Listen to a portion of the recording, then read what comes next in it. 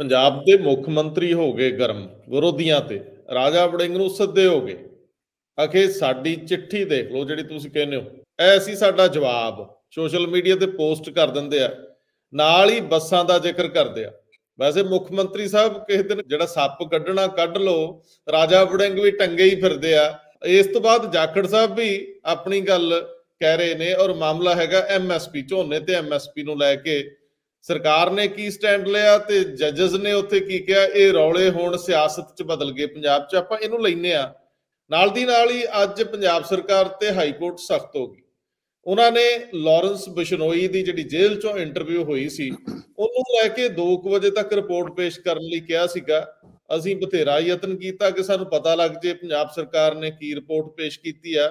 ਮਾਮਲਾ ਐਸਆਈਟੀ ਬਣਾਉਣ ਦਾ ਸੀਗਾ। ਤੁਹਾਨੂੰ ਯਾਦ ਹੋਵੇਗਾ ਦੋਸਤੋ ਕਿ ਜਦੋਂ ਲਾਰੈਂਸ ਬਿਸ਼ਨੋਈ ਦੀ ਜੇਲ੍ਹ ਦੇ ਵਿੱਚੋਂ ਇੱਕ ਪ੍ਰਾਈਵੇਟ ਟੀਵੀ ਚੈਨਲ ਨੇ, ਨਿੱਜੀ ਟੀਵੀ ਚੈਨਲ ਨੇ ਇੰਟਰਵਿਊ ਕੀਤੀ ਸੀਗੀ ਤਾਂ ਰੌਲਾ ਮਚ ਗਿਆ ਬਹੁਤ। ਰੌਲਾ ਪਿਆ, ਪਹਿਲਾਂ ਇੱਕ ਐਸਆਈਟੀ ਬਣਾਈ, ਉਹਨੂੰ 15 ਦਿਨ ਲਈ ਕਿਹਾ ਰਿਪੋਰਟ ਦੇਣ ਲਈ, ਲੇਕਿਨ ਫਿਰ ਇੱਕ ਐਸਆਈਟੀ ਦੁਬਾਰਾ ਬਣਾਈ ਗਈ ਕਿਉਂਕਿ ਉਹਦੇ ਵਿੱਚ ਜਿਹੜੇ ਆਈਐਸ ਅਨੁਰਾਗ ਵਰਮਾ ਸੀਗੇ ਸੈਕਟਰੀ ਹੋਮ ਸੀ ਉਦੋਂ ਅੱਜਕੱਲ ਚੀਫ ਸੈਕਟਰੀ ਉਹਨਾਂ ਕਹਿਤਾ ਸੀਗਾ ਕਿ ਇਹਦੇ ਵਿੱਚ ਕੋਈ ਪੁਲਿਸ ਅਫਸਰ ਹੀ ਹੋਣਾ ਚਾਹੀਦਾ ਟੈਕਨੀਕੈਲਿਟੀਆਂ ਨੇ। ਸੋ ਅੱਜ ਤੱਕ ਉਹ ਵੱਟੇ ਖਾਤੇ ਪਈ ਅੱਜ ਹਾਈ ਕੋਰਟ ਸਖਤ ਹੋਈ ਹੈ। ਮਾਮਲੇ ਰੁਕੇ ਕਿਉਂ ਰਹਿੰਦੇ ਆ?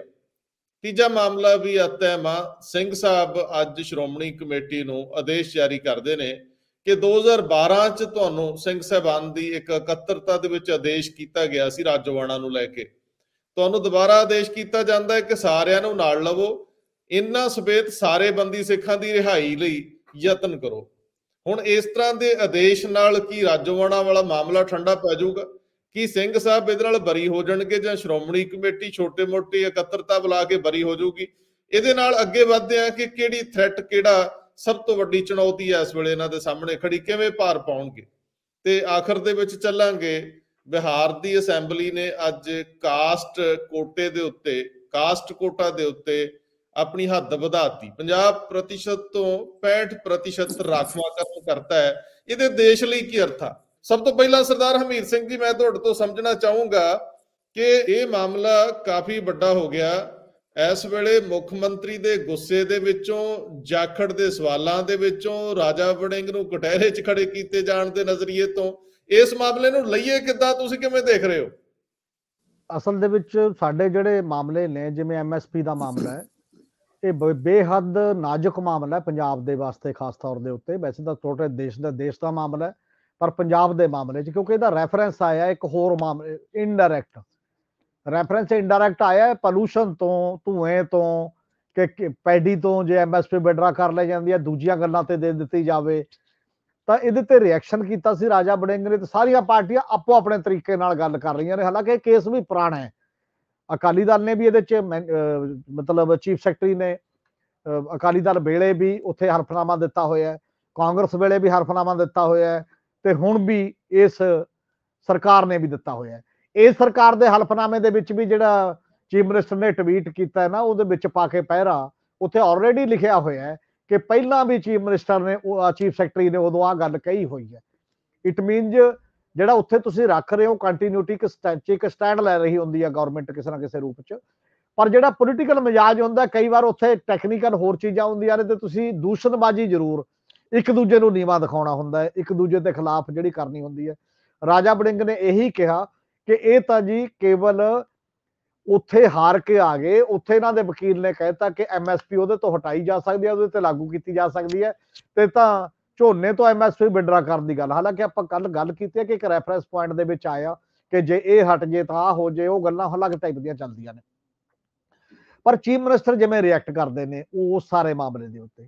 ਇੱਕ ਗੱਲ ਤਾਂ ਇਹ ਦੱਸਣੀ ਹੁੰਦੀ ਆ ਲੋਕਾਂ ਨੂੰ, ਜੇ ਪੋਲੀਟੀਕਲ ਧਿਰਾਂ ਤੁਹਾਡੇ ਤੇ ਐਲੀਗੇਸ਼ਨ ਲਾਉਂਦੀਆਂ ਨੇ, ਤੁਸੀਂ ਆਪਣਾ ਵਾਜਬ ਜਵਾਬ ਦੇਣਾ ਹੁੰਦਾ ਵਾਜਬ ਜਵਾਬ ਤੱਥਾਂ ਸਮੇਤ ਕਿ ਆ ਸਾਡਾ ਸਟੈਂਡ ਹੈ, ਉੱਥੇ ਓਵਰਆਲ ਉਹਦੇ ਚੋਂ ਇੱਕੋ ਹੀ ਪੈਰਾ ਕੱਢ ਕੇ ਨਹੀਂ ਦੇਣਾ ਹੁੰਦਾ ਜਿਹੜਾ ਤੁਹਾਡਾ ਜਵਾਬ ਹੈ ਜਦ ਤਾਂ ਤੁਸੀਂ ਪਾਉਣਾ ਸੀ ਤੇ ਹੋਰ ਉਹਦੇ ਰੈਫਰੈਂਸ ਪੈਰੇ ਵੀ ਪਾ ਦਿੰਦੇ ਉਦੋਂ ਵਾਪਸ ਬਾਕੀ ਵੀ ਪਾ ਦਿੰਦੇ ਕੱਲਾ ਇੱਕ ਪੈਰਾ ਕੱਢ ਕੇ ਤੁਸੀਂ ਆਪਣੇ ਟਵੀਟ ਦੇ ਨਾਲ ਲਾ ਰਹੇ ਹੋ ਵੀ ਸਾਡਾ ਦਾ ਸਟੈਂਡ ਆ ਹੈ ਜੀ ਕੱਲਾ ਬਾਕੀ ਦੀਆਂ ਟਿੱਪਣੀਆਂ ਵੀ ਲਾਓ, ਬਾਕੀ ਦੀਆਂ ਚੀਜ਼ਾਂ ਵੀ ਲਾਓ ਕੋਰਟ 'ਚ ਕੀ ਕਿਹਾ ਗਿਆ, ਤੁਹਾਡਾ ਵਕੀਲ ਉੱਥੇ ਫਿਰ ਚੁੱਪ ਕਿਉਂ ਸੀ ਜਦੋਂ ਉਹ ਚੀਜ਼ਾਂ ਕੀਤੀਆਂ ਗਈਆਂ। ਪਰ ਨਾਲ ਨਾਲ ਤੁਸੀਂ ਇੱਕ ਥ੍ਰੈਟਨਿੰਗ ਟੋਨ ਵੀ ਰੱਖਦੇ ਹੋ ਚੀਫ ਮਿਨਿਸਟਰ ਦਾ ਇੱਕ ਮਜਾਜ ਹੈ ਨਾਲ ਨਾਲ, ਉਹ ਕੱਲਾ ਜਵਾਬ ਨਹੀਂ ਦਿੰਦੇ। ਨਾਲ ਸਾਹਮਣੇ ਵਾਲੇ ਨੂੰ ਇਹ ਵੀ ਕਹਿੰਦੇ ਨੇ ਵੀ ਤੇਰੇ ਲਈ ਦੇਖ ਲੈ, ਜੇਲ੍ਹ ਵੀ ਪਈ ਆ ਉੱਥੇ। ਮੇਰੇ ਕੋਲ ਇੱਕ ਤੇਰਾ ਮਤਲਬ ਕਮਜ਼ੋਰ ਪੱਖ ਵੀ ਹੈ। ਰਾਜਾ ਬੜਿੰਗ ਦਾ ਬਸਾਂ ਵਾਲਾ ਮਾਮਲਾ। ਜੇ ਜ਼ਿਆਦਾ ਨਹੀਂ ਤਾਂ ਘੱਟੋ ਘੱਟ ਅੱਧੀ ਦਰਜਨ ਵਾਰ ਤਾਂ ਮੈਂ ਦੇਖਿਆ ਚੀਫ ਮਿਨਿਸਟਰ ਨੇ ਜਿਹੜਾ ਐਲਾਨ ਕਰਤਾ ਹੋਊਗਾ ਕਿ ਇਹ ਬੱਸ ਬਾਡੀ ਵਾਲਾ ਮਾਮਲਾ ਨਹੀਂ ਹੈ ਚਿੱਠੀ, ਇਹ ਸਰਕਾਰ ਦੀ ਚਿੱਠੀ ਹੈ। ਉਹ ਬੱਸ ਬਾਡੀ ਦੀ ਚਿੱਠੀ ਕੀ ਹੈ ਜੀ? ਉਹ ਪੰਜਾਬ ਦੇ ਲੋਕ ਬਾਰ-ਬਾਰ ਜਾਣਨਾ ਚਾਹੁੰਦੇ ਨੇ, ਜੇ ਉਹਦੇ ਚ ਕੁਝ ਹੈ। ਇਹ ਤੁਸੀਂ ਸਕੋਰ ਕਰਨ ਲਈ ਰੱਖਿਆ ਹੋਇਆ ਮਾਮਲਾ ਹੈ। ਜੇ ਪੰਜਾਬ ਦੇ ਲੋਕਾਂ ਦੇ ਟੈਕਸ ਦਾ ਪੈਸਾ ਮਿਸਯੂਜ ਹੋਇਆ, ਦੁਰਵਰਤੋਂ ਹੋਈ ਹੈ, ਤਾਂ ਬੀਇੰਗ ਚੀਫ ਮਿਨਿਸਟਰ ਤੁਸੀਂ ਕੈਪਟਨ ਅਮਰਿੰਦਰ ਸਿੰਘ ਵਾਲਾ ਹੀ ਕੰਮ ਕਰ ਰਹੇ ਹੋ। ਇਸ ਤੋਂ ਵੱਧ ਵੱਖਰਾ ਨਹੀਂ ਕਰ ਰਹੇ। ਜਿਵੇਂ ਅਮਰਿੰਦਰ ਸਿੰਘ ਨੇ ਕਿਹਾ ਸੀ ਕਿ ਸਾਡੇ ਕਈ ਐਮਐਲਏ ਮੈਂ ਸੋਨੀਆ ਗਾਂਧੀ ਨੂੰ ਚਿੱਠੀ ਲਿਖੀ ਸੀ ਕਾਂਗਰਸ ਪ੍ਰਧਾਨ ਨੂੰ ਕਿ ਉਹ ਮਾਈਨਿੰਗ ਦੇ ਵਿੱਚ ਉਹ ਨੇ। ਉਦੋਂ ਭਗਵੰਤ ਮਾਨ ਉਹਨੇ ਕੀ ਕਹਿ ਰਹੇ ਸੀ? ਕਿ ਤੁਸੀਂ ਚੀਫ ਮਿਨਿਸਟਰ ਹੋ, ਤੁਸੀਂ ਕਿਉਂ ਨਹੀਂ ਕਾਰਵਾਈ ਕਰਦੇ? ਉਹਨਾਂ ਦੇ ਖਿਲਾਫ ਕੱਲੀ ਚਿੱਠੀ ਕਿਉਂ ਲਿਖਦੇ ਹੋ? ਇਸੇ ਤਰੀਕੇ ਨਾਲ ਭਗਵੰਤ ਮਾਨ ਜੀ, ਜੇ ਤੁਹਾਨੂੰ ਲੱਗਦਾ ਉਹ ਚਿੱਠੀ 'ਚ ਕੋਈ ਗੜਬੜ ਹੈ, ਬੱਸਾਂ ਵਾਲੀ 'ਚ, ਬੱਸ ਬਾਡੀ ਦੇ ਵਿੱਚ, ਤੁਸੀਂ ਪੰਜਾਬ ਦੇ ਲੋਕਾਂ ਨੂੰ ਕੀ ਦਿਖਾਉਣਾ ਚਾਹੁੰਦੇ ਹੋ? ਤੁਸੀਂ ਕਾਰਵਾਈ ਕਿਉਂ ਨਹੀਂ ਕਰਦੇ? ਉੱਤੇ ਕੋਈ ਐਫ ਆਈ ਆਰ ਹੋਵੇ, ਉਹਦੀ ਜਾਂਚ ਕਰਾਓ ਹਕੀਕਤ ਪੰਜਾਬ ਦੇ ਲੋਕ ਜਾਣਨਾ ਚਾਹੁੰਦੇ ਨੇ। ਤਾਂ ਤੁਹਾਡਾ ਫ਼ਰਕ ਕੀ ਹੈ ਫਿਰ ਇਹ ਸਾਰੇ ਮਾਮਲੇ ਦੇ ਵਿੱਚ?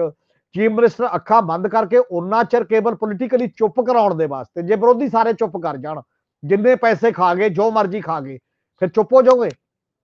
ਜਿਹੜਾ ਤੁਹਾਨੂੰ ਚੈਲੰਜ ਕਰੇਗਾ ਕੇਵਲ ਉਹਦੀ ਕੱਢਿਆ ਕਰੋਗੇ ਚਿੱਠੀ? ਇਹ ਤਾਂ ਬਹੁਤ ਸੌਖਾ ਕੰਮ ਹੈ, ਇੱਕ ਸਰਕਾਰ ਆਇਆ ਕਰੇਗੀ, ਪੰਜਾਬ ਲੁੱਟਿਆ ਕਰੇਗੀ, ਚੁੱਪ ਕਰ ਜਾ ਕਰੇਗੀ 5 ਸਾਲ ਕੁਝ ਨਹੀਂ ਬੋਲੇਗੀ। ਫਿਰ ਦੂਜੀ ਸਰਕਾਰ ਆਇਆ ਕਰੇਗੀ, ਚੁੱਪ ਕਰ ਜਾ ਕਰੇਗੀ। ਇਹਦਾ ਮਤਲਬ ਨਵੇਂ ਬੰਦਿਆਂ ਨੂੰ ਬੋਲਣਾ ਪਿਆ ਕਰੇਗਾ। ਇਹ ਬਹੁਤ ਖਤਰਨਾਕ ਰੁਝਾਨ ਹੈ, ਜਦੋਂ ਤੁਸੀਂ ਇਹ ਕਹਿ ਰਹੇ ਹੋ। ਐਦੋਂ ਪਹਿਲਾਂ ਪ੍ਰਕਾਸ਼ ਸਿੰਘ ਬਾਦਲ, ਉਹਨਾਂ ਨੇ ਵੀ ਇੱਕ ਵਾਰ ਗੱਲ ਕੀਤੀ ਸੀ ਔਰ ਬਿੱਟੂਮੈਨ ਸਕੈਨ ਦੀ ਇੱਕ ਗੱਲ ਵਿਧਾਨ ਸਭਾ 'ਚ ਹੋਈ ਸੀ, ਲੁੱਕ ਸਕੈਂਡਲ ਜਿਹਨੂੰ ਆਪਾਂ ਕਹਿੰਦੇ ਆ ਉਦੋਂ ਪ੍ਰਤਾਪ ਬਾਜਵਾ ਉਹਨਾਂ ਦਾ ਨਾਮ ਉਹਦੇ 'ਚ ਆਇਆ ਸੀਗਾ ਕਿਸੇ ਨਾ ਕਿਸੇ ਰੂਪ ਦੇ ਵਿੱਚ। ਉਹ ਕਥਿਤ ਸੀਗਾ, ਨਹੀਂ ਸੀ, ਕੀ ਹੋਇਆ, ਕੀ ਨਹੀਂ ਹੋਇਆ। ਮੁੜ ਕੇ ਅਕਾਲੀ ਦਲ ਨੇ ਉਹ ਛੱਡਤਾ ਸੀਗਾ ਜਦੋਂ ਬਾਦਲ ਸਾਹਿਬ ਨਾਲ ਬਾਜਵਾ ਸਾਹਿਬ ਮਿਲਲੇ ਸੀ, ਮੁੜ ਕੇ ਗੱਲ ਨਹੀਂ ਆਈ ਉਹਦੀ ਸਾਹਮਣੇ। ਹਰ ਪਾਰਟੀ, ਹਰ ਸਰਕਾਰ ਪੋਲੀਟੀਕਲ ਕਰੈਕਟ ਰਹਿਣਾ ਚਾਹੁੰਦੀ ਹੈ ਤੇ ਪੰਜਾਬ ਨਾਲ ਕੀ ਵਾਪਰਦਾ, ਇਹਦੇ ਚ ਕੋਈ ਬਖਰੇਵਾ ਨਹੀਂ ਹੁੰਦਾ ਉਹ ਸਾਰੇ ਮਾਮਲੇ ਦੇ ਵਿੱਚ। ਔਰ ਇਹ ਸਾਰੀਆਂ ਗੱਲਾਂ 'ਚ ਚੀਫ ਮਿਨਿਸਟਰ ਨੂੰ ਪੰਜਾਬ ਦੇ ਲੋਕਾਂ ਪ੍ਰਤੀ ਜਵਾਬਦੇਹ ਹੋਣਾ ਚਾਹੀਦਾ, ਨਾ ਕਿ ਇਹ ਕੱਲੀ ਗੱਲ ਤੇ ਕਿ ਅਸੀਂ ਉੱਥੇ ਆ ਸਟੈਂਡ ਲਿਆ ਜਾਂ ਨਹੀਂ ਲਿਆ। ਫਿਰ ਹੁਣ ਜਾਖੜ ਸਾਹਿਬ ਕਹਿ ਰਹੇ ਨੇ। ਜਾਖੜ ਉਹਨਾਂ ਨੇ ਇੱਕ ਟਵੀਟ ਇਹ ਕਰਤਾ ਕਿ ਉਹਨਾਂ ਨੇ ਕਿਹਾ ਕਿ ਉੱਥੇ ਬਿਲਕੁਲ ਜੋ ਇਹਦੇ ਚ ਲਿਖਿਆ ਸੀ ਨਾ, ਮਿਲਟਸ ਲਿਖਿਆ ਸੀਗਾ ਕਿ ਅਲਟਰਨੇਟਿਵ ਦੇ ਤੌਰ ਤੇ ਇਹਦਾ ਦੇ ਦਿਓ ਜੀ ਐਮਐਸਪੀ ਅਸ਼ੋਰਡ ਮਾਰਕੀਟ ਜੇ ਇਹਦਾ। ਉਹ ਕਹਿੰਦੇ ਨੇ ਪੈਡੀ ਤੇ ਉਹਦਾ ਬਹੁਤ ਵੱਡਾ ਫ਼ਰਕ ਹੈ। ਵੱਡਾ ਫ਼ਰਕ ਇਸ ਕਰਕੇ ਹੈ ਕਿ ਜੇ ਅਸ਼ੋਰਡ ਮਾਰਕੀਟ ਵੀ ਦੇ ਦਿਓ ਤਾਂ ਵੀ ਉਹਦੇ ਨੇੜੇ ਨਹੀਂ ਜਾਂਦੀ। ਕਿਉਂਕਿ ਅਨਾਜ ਦੀ ਜ਼ਰੂਰਤ ਹੈ ਗਵਰਨਮੈਂਟ ਆਫ ਇੰਡੀਆ ਨੂੰ। ਅਨਾਜ ਦੇ ਮਾਮਲੇ ਦੇ ਵਿੱਚ ਜਿਹਦੀ ਜ਼ਰੂਰਤ ਜ਼ਿਆਦਾ ਸੀ, ਉਹਦੀ ਐਮਐਸਪੀ ਜ਼ਿਆਦਾ ਅਨਾਉਂਸ ਕਰਦੀ ਰਹੀ ਹੈ ਤਾਂ ਕਿ ਉਦੋਂ ਅੱਗੇ ਉਹ ਲੋਕ ਉਧਰ ਹੀ ਲੱਗੇ ਰਹਿਣ। ਪਾਲਿਸੀ ਦੇ ਤੌਰ ਦੇ ਉੱਤੇ ਗਵਰਨਮੈਂਟ ਆਫ ਇੰਡੀਆ ਨੂੰ ਜਦੋਂ ਪੰਜਾਬ ਕਹਿੰਦਾ ਸੀ ਡਿਵਰਸੀਫਾਈ ਕਰਨੀ ਹੈ, ਉਹ ਸਪੋਰਟ ਨਹੀਂ ਕਰਦੀ। ਉਹ ਸਪੋਰਟ ਦੀ ਬਜਾਏ ਪਾਲਿਸੀ ਦੇ ਤੌਰ ਤੇ ਕਣਕ ਤੇ ਝੋਨੇ ਦਾ ਸਗੋਂ ਜ਼ਿਆਦਾ ਭਾਅ ਮਿਲਦੀ ਹੈ ਕੰਪੈਰੀਟਿਵਲੀ ਬਾਕੀ ਦੇ, ਤਾਂ ਕਿ ਕਿਸਾਨ ਉਧਰ ਲੱਗੇ ਰਹਿਣ, ਚਾਹੇ ਜੋ ਮਰਜ਼ੀ ਹੈ। ਪੰਜਾਬ ਦਾ এনवायरमेंट ਖਰਾਬ ਹੋਵੇ, ਪੰਜਾਬ ਦਾ ਪਾਣੀ ਖਰਾਬ ਹੋਵੇ ਇੱਕ ਅਲੱਗ ਪਹਿਲੂ ਹੈ। ਉਹ ਪਾਲਿਸੀ ਡਿਸੀਜਨ ਤੁਸੀਂ ਪਾਲਿਸੀ ਤੇ ਕਿਉਂ ਅਟੈਕ ਨਹੀਂ ਕਰਦੇ? ਅੱਜ ਕੱਲ ਤੁਹਾਡੀ ਗਵਰਨਮੈਂਟ ਆਫ ਇੰਡੀਆ ਇਹ ਤੋਂ ਪਹਿਲਾਂ ਕਾਂਗਰਸ 'ਚ ਵੀ ਤੁਹਾਡੀ ਹੋਸ਼ੀ ਸ਼ਾਇਦ ਉਦੋਂ ਵੀ ਪ੍ਰਧਾਨ ਸੀਗੇ ਤੁਸੀਂ ਪੰਜਾਬ ਕਾਂਗਰਸ ਦੇ। ਜਦੋਂ ਕਾਂਗਰਸ ਦਾ ਵੀ ਉੱਪਰ ਗੱਲ ਚੱਲਦੀ ਸੀ ਉਸ ਤੋਂ ਬਾਅਦ ਤੁਸੀਂ ਆਏ। ਐਜ ਏ ਪਾਲਿਸੀ ਡਿਸੀਜਨ ਤੇ ਗੱਲ ਕਰਨੀ ਚਾਹੀਦੀ ਹੈ, ਹਾਂ, ਇਹ ਗੱਲ ਉਹਨਾਂ ਦੀ ਵਾਜਬ ਹੈ। ਜਦੋਂ ਉਹਦੀ ਇਕਨੋਮਿਕਸ ਦੇਖਦੇ ਹੋ ਉਹਦੀ ਪੋਲੀਟੀਕਲ ਇਕਨੋਮੀ ਵੀ ਦੇਖਦੇ ਹੋ ਕੱਲੀ ਇਕਨੋਮਿਕਸ ਵੀ ਦੇਖਦੇ ਹੋ। ਬਿਨਾਂ ਸ਼ੱਕ ਪੈਡੀ ਤੇ ਬੀਟ ਦੀ ਰੋਟੇਸ਼ਨ ਜਿੰਨਾ ਪੈਸਾ ਜੇ ਐਮਐਸਪੀ ਅਨਾਉਂਸ ਵੀ ਹੋਈ ਆ, ਅਜੇ ਉਹਨਾਂ 'ਚ ਨਹੀਂ ਹੈ। ਆ ਨਹੀਂ ਰਿਹਾ ਉਹਨਾਂ। ਔਰ ਜੇ ਉਹਨਾਂ ਦੇ ਜਾਖੜ ਸਾਹਿਬ ਨੇ ਇਹ ਕਿਹਾ ਕਿ 11 ਕੁਆਂਟਲ ਨਿਕਲਦਾ ਜੀ ਬਾਜਰਾ, ਜਿਹੜਾ ਕਿ ਉਹਨਾਂ ਦਾ ਏਰੀਆ ਤੇ ਉਧਰ ਰਾਜਸਥਾਨ ਨੇੜੇ ਲੱਗਦਾ ਜਿੱਥੇ ਬਾਜਰਾ ਅਜੇ ਵੀ ਬੀਜਦੇ ਨੇ, ਪੰਜਾਬ 'ਚ ਤਾਂ ਬਾਜਰਾ ਅਜੇ ਕਮਰਸ਼ੀਅਲ ਕ੍ਰੌਪ ਦੇ ਮਾਮਲੇ 'ਚ ਗਾਇਬ ਹੋ ਗਿਆ ਕਿਸੇ ਨਾ ਕਿਸੇ ਰੂਪ ਦੇ ਵਿੱਚ। ਤੇ ਉਹ 2500 ਰੁਪਏ ਉਹਦੀ ਐਮਐਸਪੀ ਹੈ 5000 ਰੁਪਏ ਉਹਦੀ ਕਾਸਟ ਆਉਂਦੀ ਆ ਪਰ ਏਕੜ ਉਹਦੇ 'ਚ।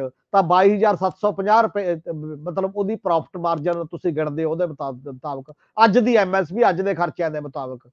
ਤੇ ਤੁਸੀਂ ਪੈਡੀ ਦੀ ਗੱਲ ਕਰਦੇ ਹੋ 30 ਕੁਇੰਟਲ ਐਵਰੇਜ ਝਾੜ ਦਿੰਦੀ ਹੈ।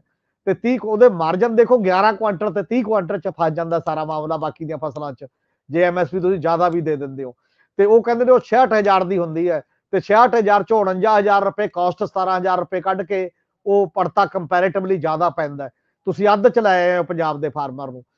ਇਸੇ ਕਰਕੇ ਇੱਕ ਪ੍ਰੋਬਲਮ ਕੀ ਹੁੰਦੀ ਹੈ, ਜਦੋਂ ਆਪਾਂ ਪਹਿਲਾਂ ਵੀ ਗੱਲ ਕਰਦੇ ਆ ਕਿ ਜਿਹੜਾ ਵੀ ਸਟੈਂਡ ਤੁਸੀਂ ਸੁਪਰੀਮ ਕੋਰਟ ਚ ਲੈਣਾ ਹੁੰਦਾ ਜਿਹੜਾ ਵੀ ਸਟੈਂਡ ਕਿਤੇ ਪਬਲਿਕ ਡੋਮੇਨ ਚ ਲੈਣਾ ਹੁੰਦਾ ਗਵਰਨਮੈਂਟ ਆਫ ਇੰਡੀਆ ਸਾਹਮਣੇ ਜਾ ਕਿਤੇ, ਇਹਦੇ ਲਈ ਕਿਰਪਾ ਕਰਕੇ ਪੰਜਾਬ ਦੀ ਸਰਕਾਰ ਕੇਵਲ ਵਕੀਲਾਂ ਦੀ ਬਜਾਏ ਉਸ ਖਿੱਤੇ ਦੇ ਮਾਹਰਾਂ ਨੂੰ ਵੀ ਬਿਠਾ ਲਿਆ ਕਰਨ ਵਿੱਚ ਕਿ ਆਪਾਂ ਅਲਟਰਨੇਟਿਵ ਜੇ ਮੰਗਣਾ, ਕੀ ਮੰਗਣਾ, ਕਿਵੇਂ ਮੰਗਣਾ, ਕੀ ਇਹਦੇ ਪ੍ਰੋਜ ਐਂਡ ਕੌਨਜ ਹੋਣਗੇ, ਕੀ ਫਾਇਦੇ ਨੁਕਸਾਨ ਹੋਣਗੇ, ਤਾਂ ਸ਼ਾਇਦ ਉਹ ਸਾਰਿਆਂ ਨੂੰ ਵਿੱਚ ਰਾਏ ਕਰਕੇ ਜਦੋਂ ਤੁਸੀਂ ਮਲਟੀਪਲ ਐਕਸਪਰਟ ਹੋਣਗੇ, ਤਾਂ ਇੱਕ ਸੋਲਿਡ ਤੁਹਾਡੇ ਕੋਲ ਸਟੈਂਡ ਬਣ ਜਾਂਦਾ ਸਟੇਟ ਕੋਲ। ਉਹ ਨਾ ਬਣਨ ਦੇ ਚੱਕਰ ਦੇ ਵਿੱਚ ਸਾਡਾ ਅਸੀਂ ਹਾਰ ਰਹੇ ਹਾਂ, ਅਸੀਂ ਪੀਸ ਮੇਲ 'ਚ ਕੰਮ ਕਰ ਰਹੇ ਹਾਂ। ਹੁਣ ਐਸ ਡਿਪਾਰਟਮੈਂਟ ਦਾ ਮਾਮਲਾ ਆ ਗਿਆ, ਜੋ ਉਹਨੂੰ ਲੈ ਲਓ, ਹੁਣ ਉਹਦਾ ਆ ਗਿਆ, ਉਹਨੂੰ ਲੈ ਲਓ, ਉਹ ਆ ਗਿਆ, ਉਹਨੂੰ ਲੈ ਲਓ। ਅਸੀਂ ਸਮੁੱਚਤਾ 'ਚ ਵਰਕ ਨਹੀਂ ਕਰ ਰਹੇ ਅਸਲ ਦੇ ਵਿੱਚ। ਇਹ ਗੱਲਾਂ ਹੈ ਇਹ ਪ੍ਰੋਬਲਮ ਹਰ ਸਰਕਾਰ ਦੀ ਰਹੀ ਹੈ। ਇਸ ਸਰਕਾਰ ਦੀ ਵੀ ਇਹ ਪ੍ਰੋਬਲਮ ਹੈ, ਕਿਉਂਕਿ ਮਲਟੀ ਡਿਪਾਰਟਮੈਂਟਲ ਅਪਰੋਚ ਹੁੰਦੀ ਹੈ ਉਹਦੇ ਵਿੱਚ ਜਾ ਕੇ, ਜਿਹਨੂੰ ਤੁਸੀਂ ਡਿਸਾਈਡ ਕਰਦੇ ਹੁੰਦੇ ਹੋ ਜਦੋਂ ਵੀ ਚੀਜ਼ਾਂ ਲੈਣੀਆਂ ਹੁੰਦੀਆਂ ਨੇ, ਉਧਰ ਤੋਂ ਤੁਸੀਂ ਜੇਕਰ ਨਹੀਂ ਜਾਓਗੇ ਪੋਲਿਟਿਕਸ ਦੇ ਤੌਰ ਤੇ ਤੁਸੀਂ ਜਿੱਤ ਸਕਦੇ ਹੋ, ਪਰ ਪੰਜਾਬ ਹਾਰ ਜਾਊਗਾ ਉਹ ਸਾਰੇ ਮਾਮਲਿਆਂ ਦੇ ਵਿੱਚ, ਜਿਹੜੇ ਚ ਅਸੀਂ ਲਗਾਤਾਰ ਹਾਰਦੇ ਜਾ ਰਹੇ ਹਾਂ ਡਿਫਰੈਂਟ ਕੇਸ ਤੇ ਡਿਫਰੈਂਟ ਬਾਕੀ ਚੀਜ਼ਾਂ, ਉਹ ਤੇ ਜ਼ਰੂਰ ਗਵਰਨਮੈਂਟਾਂ ਨੂੰ ਆਪਣਾ ਜਿਹੜਾ ਇੱਕ ਤਰੀਕਾਕਾਰ ਹੈ, ਉਹ ਤਬਦੀਲ ਕਰਨਾ ਪਊਗਾ। ਸਰਦਾਰ ਜਗਤਾਰ ਸਿੰਘ ਜੀ, ਜਦੋਂ ਇਸ ਸਰਕਾਰ ਨੂੰ ਡੇਢ ਸਾਲ ਦੇ ਵਿੱਚ ਕਈ ਮਹਾਜਾਂ ਤੇ, ਖਾਸ ਤੌਰ ਤੇ ਅਦਾਲਤਾਂ ਦੇ ਵਿੱਚ ਮੁਸ਼ਕਲ ਦਾ ਸਾਹਮਣਾ ਕਰਨਾ ਪਿਆ। ਤਾਂ ਕਿਉਂ ਨਹੀਂ ਇਹਦੇ ਉੱਤੇ ਇੱਕ ਨੀਤੀਗਤ ਤਰੀਕੇ ਨਾਲ ਚੱਲਿਆ ਜਾਂਦਾ? ਆਖਰ ਜਦੋਂ ਵੀ ਕੋਈ ਅਹਿਮ ਕੇਸ ਜਿਨੇ ਪੰਜਾਬ ਨੂੰ ਪ੍ਰਭਾਵਿਤ ਕਰਨਾ ਹੁੰਦਾ, ਜਿਹੜਾ ਜਿੱਦਾਂ ਹੁਣ ਐਸਵਾਈਐਲ ਦਾ ਹੈ, ਪਿੱਛੇ ਪੰਚਾਇਤਾਂ ਵਾਲਾ ਸੀ, ਉਸ ਤੋਂ ਬਾਅਦ ਹੁਣ ਇਹ ਆ ਗਿਆ ਐਮਐਸਪੀ ਵਾਲਾ ਜਿਹੜਾ ਪਰਾਲੀ ਜਲਾਉਣ ਨੂੰ ਲੈ ਕੇ ਸੀਗਾ ਇਹਨਾਂ ਮਾਮਲਿਆਂ 'ਚ ਸੰਬੰਧਿਤ ਖੇਤਰ ਦੇ ਐਕਸਪਰਟਸ ਨੂੰ ਜਿਹੜੇ ਕਾਨੂੰਨੀ ਮਸ਼ੀਰ ਨੇ ਏਜੀ ਦਫ਼ਤਰ ਹੈ, ਉਹਦੇ ਨਾਲ ਕੋਈ ਲਾਈਨ ਅਪ ਕਰਕੇ ਇਹ ਸਰਕਾਰ ਦੀ ਜ਼ਿੰਮੇਵਾਰੀ ਬਣਦੀ, ਉਹਦੇ ਮਹਿਕਮਿਆਂ ਦੇ ਸੈਕਟਰੀਆਂ ਦੀ ਜ਼ਿੰਮੇਵਾਰੀ ਬਣਦੀ। ਕਈ ਵਾਰੀ ਤਾਂ ਥੋੜਾ ਜਿਹਾ ਹਾਸਾ ਵੀ ਆਉਂਦਾ ਹੈ ਔਰ ਤਰਸ ਵੀ ਆਉਂਦਾ ਹੈ ਕਿ ਐਗਰੀਕਲਚਰ ਵਰਗੇ ਮੰਤਰਾਲੇ ਕੋਲ ਉਹਦਾ ਆਪਣਾ ਸੈਕਟਰੀ ਜਿਹੜਾ ਸੀਨੀਅਰ ਆਈਐਸ ਹੋਵੇ, ਉਹ ਕੋਈ ਪੱਕਾ ਤਾਂ ਹੈ ਹੀ ਨਹੀਂ, ਕੋਈ ਲਗਭਗ ਸਰਕਾਰ ਦੀ ਇੱਕ ਨੀਤੀ ਹੋਣੀ ਚਾਹੀਦੀ ਜਿਹੜੀ ਵੀ ਆਵੇ ਉਹ ਇੱਕ ਸੰਬੰਧਿਤ ਰੁਚੀਆਂ ਵਾਲਾ ਬੰਦਾ ਉਹਨਾਂ ਥਾਵਾਂ ਤੇ ਲਾਵੇ ਫਿਰ ਉਹ ਸਾਰੇ ਦਾ ਸਾਰਾ ਬਾਕੀ ਧਿਰਾਂ ਨਾਲ ਰਾਬਤਾ ਕਰਕੇ ਭਾਵੇਂ ਕਿਸਾਨ ਜਥੇਬੰਦੀਆਂ ਨੇ ਜਾਂ ਹੋਰ ਲੋਕ ਆ ਉਹਨਾਂ ਨਾਲ ਰਾਏ ਕਰਕੇ ਅੱਗੇ ਵੱਧਦਾ ਰਵੇ ਸੋ ਇਹ ਜਦੋਂ ਸਰਕਾਰ ਇਸ ਮਾਮਲੇ ਦੇ ਵਿੱਚ ਵੀ ਸਿਰਫ ਤੇ ਸਿਰਫ ਕਾਨੂੰਨੀ ਨੁਕਤਾ ਨਜ਼ਰ ਨਾਲ ਹੀ ਅੱਗੇ ਵਧ ਰਹੀ ਹੈ ਔਰ ਐਕਸਪਰਟਸ ਦੀ رائے ਵਿੱਚੋਂ ਮਿਸਿੰਗ ਹੈ ਤਾਂ ਇਸ ਤਰ੍ਹਾਂ ਦੇ ਸੰਕਟ ਦਾ ਸਾਹਮਣਾ ਕਰਨਾ ਪੈ ਹੀ ਜਾਂਦਾ ਪਹਿਲੀ ਗੱਲ ਤਾਂ ਇਹ ਹੈ ਕਿ ਪੋਲੂਸ਼ਨ ਦੇ ਵਿੱਚ ਦਿੱਲੀ ਦੀ ਜਿਹੜੀ ਪੋਲੂਸ਼ਨ ਹੈ, ਮੈਂ ਬਾਕੀ ਗੱਲਾਂ ਬਾਅਦ ਚ ਆਉਣਾ, ਫਿਰ ਮੇਰੇ ਦਿਮਾਗ ਚੋਂ ਆਪਕੋ ਦੋ ਤਿੰਨ ਪੁਆਇੰਟ ਨਿਕਲ ਜਾਣਗੇ। ਜਿਹੜੀ ਦਿੱਲੀ ਦੇ ਪੋਲੂਸ਼ਨ ਹੈ, ਉਹਦੇ ਵਿੱਚ ਕੱਲ ਇੱਕ ਸਟੱਡੀ ਛਪੀ ਸੀ ਉਹਦੇ ਬਾਰੇ। ਉਹਦੇ ਵਿੱਚ ਸਟਬਲ ਬਰਨਿੰਗ ਜਿਹੜੀ ਪਰਾਲੀ ਸਾੜਨੀ ਹੈ, ਇਹਦਾ ਧੂਆਂ ਹੈ, ਇਹਦਾ ਸਿਰਫ 10% ਕੰਪੋਨੈਂਟ ਹੈ। ਜੇ 10% ਕੰਪੋਨੈਂਟ ਹੈ, ਤੇ ਸਾਰਾ ਫੋਕਸ ਪੰਜਾਬ ਤੇ ਹੀ ਕਿਉਂ ਹੈ? ਕੱਲ ਸੁਪਰੀਮ ਕੋਰਟ ਦੇ ਵਿੱਚ ਜਿਹੜੀ ਗੱਲ ਚਰਚਾ ਹੋਈ, ਉਹ ਹਰਿਆਣਾ ਯੂਪੀ ਤੇ ਰਾਜਸਥਾਨ ਦੇ ਵੀ ਹੋਈ, ਲੇਕਿਨ ਮੇਜਰ ਜਿਹੜੀ ਕੰਟਰੋਵਰਸੀ ਹੈ, ਉਹ ਪੰਜਾਬ ਬਾਰੇ ਹੈ। ਮੈਨੂੰ ਇਹ ਨਹੀਂ ਸਮਝ ਆਉਂਦੀ ਵੀ ਹਰਿਆਣਾ ਪਾਰ ਕਰਕੇ ਪੰਜਾਬ ਦਾ ਧੂਆਂ ਦਿੱਲੀ ਤੇ ਨਾ ਅਸਰ ਕਿਵੇਂ ਕਰਦਾ ਇੱਕ ਤਾਂ ਸਟੱਡੀ ਕੱਲ ਛਪੀ ਅਖਬਾਰ ਦੇ ਵਿੱਚ, ਇੱਕ ਦੇ ਵਿੱਚ ਉਹ ਰਿਲੀਜ਼ ਸਰਕਾਰ ਮੰਗਾ ਕੇ ਸਟੱਡੀ ਕਰੇ ਤੇ ਰਿਲੀਜ਼ ਕਰੇ ਉਹ ਦੂਜੀ ਗੱਲ ਜਿਹੜਾ ਪੰਜਾਬ ਸਰਕਾਰ ਨੇ ਮੈਂਬਰ ਆਪਣੇ ਐਫੀਡੇਵਿਟ ਸਬਮਿਟ ਕੀਤਾ ਹੈ ਸੁਪਰੀਮ ਕੋਰਟ 'ਚ, ਉਹ ਐਸ ਸੱਚ ਰਿਲੀਜ਼ ਕੀਤਾ ਜਾਵੇ ਤਾਂ ਕਿ ਲੋਕਾਂ ਦੇ ਜਿਹੜੇ ਸ਼ੱਕ ਸ਼ੁਬੇ ਹੈਗੇ ਆ ਉਹ ਦੂਰ ਹੋਣ, ਉਹ ਪੀਸਫੁਲ ਖਬਰਾਂ ਆ ਰਹੀਆਂ ਜਦੋਂ ਖਬਰ ਸ਼ਬਦੀ ਹੁੰਦੀ ਹੈ ਤੇ ਉਹਦੀ ਕਈ ਵਾਰੀ ਕੰਟੈਕਸਟ ਚੇਂਜ ਹੋ ਜਾਂਦੀ ਬਾੜੀ ਮੋਟੀ ਤੇ ਉਹ ਪਰਸੈਪਸ਼ਨ ਡਿਫਰੈਂਟ ਬਣ ਜਾਂਦੀ ਹੈ।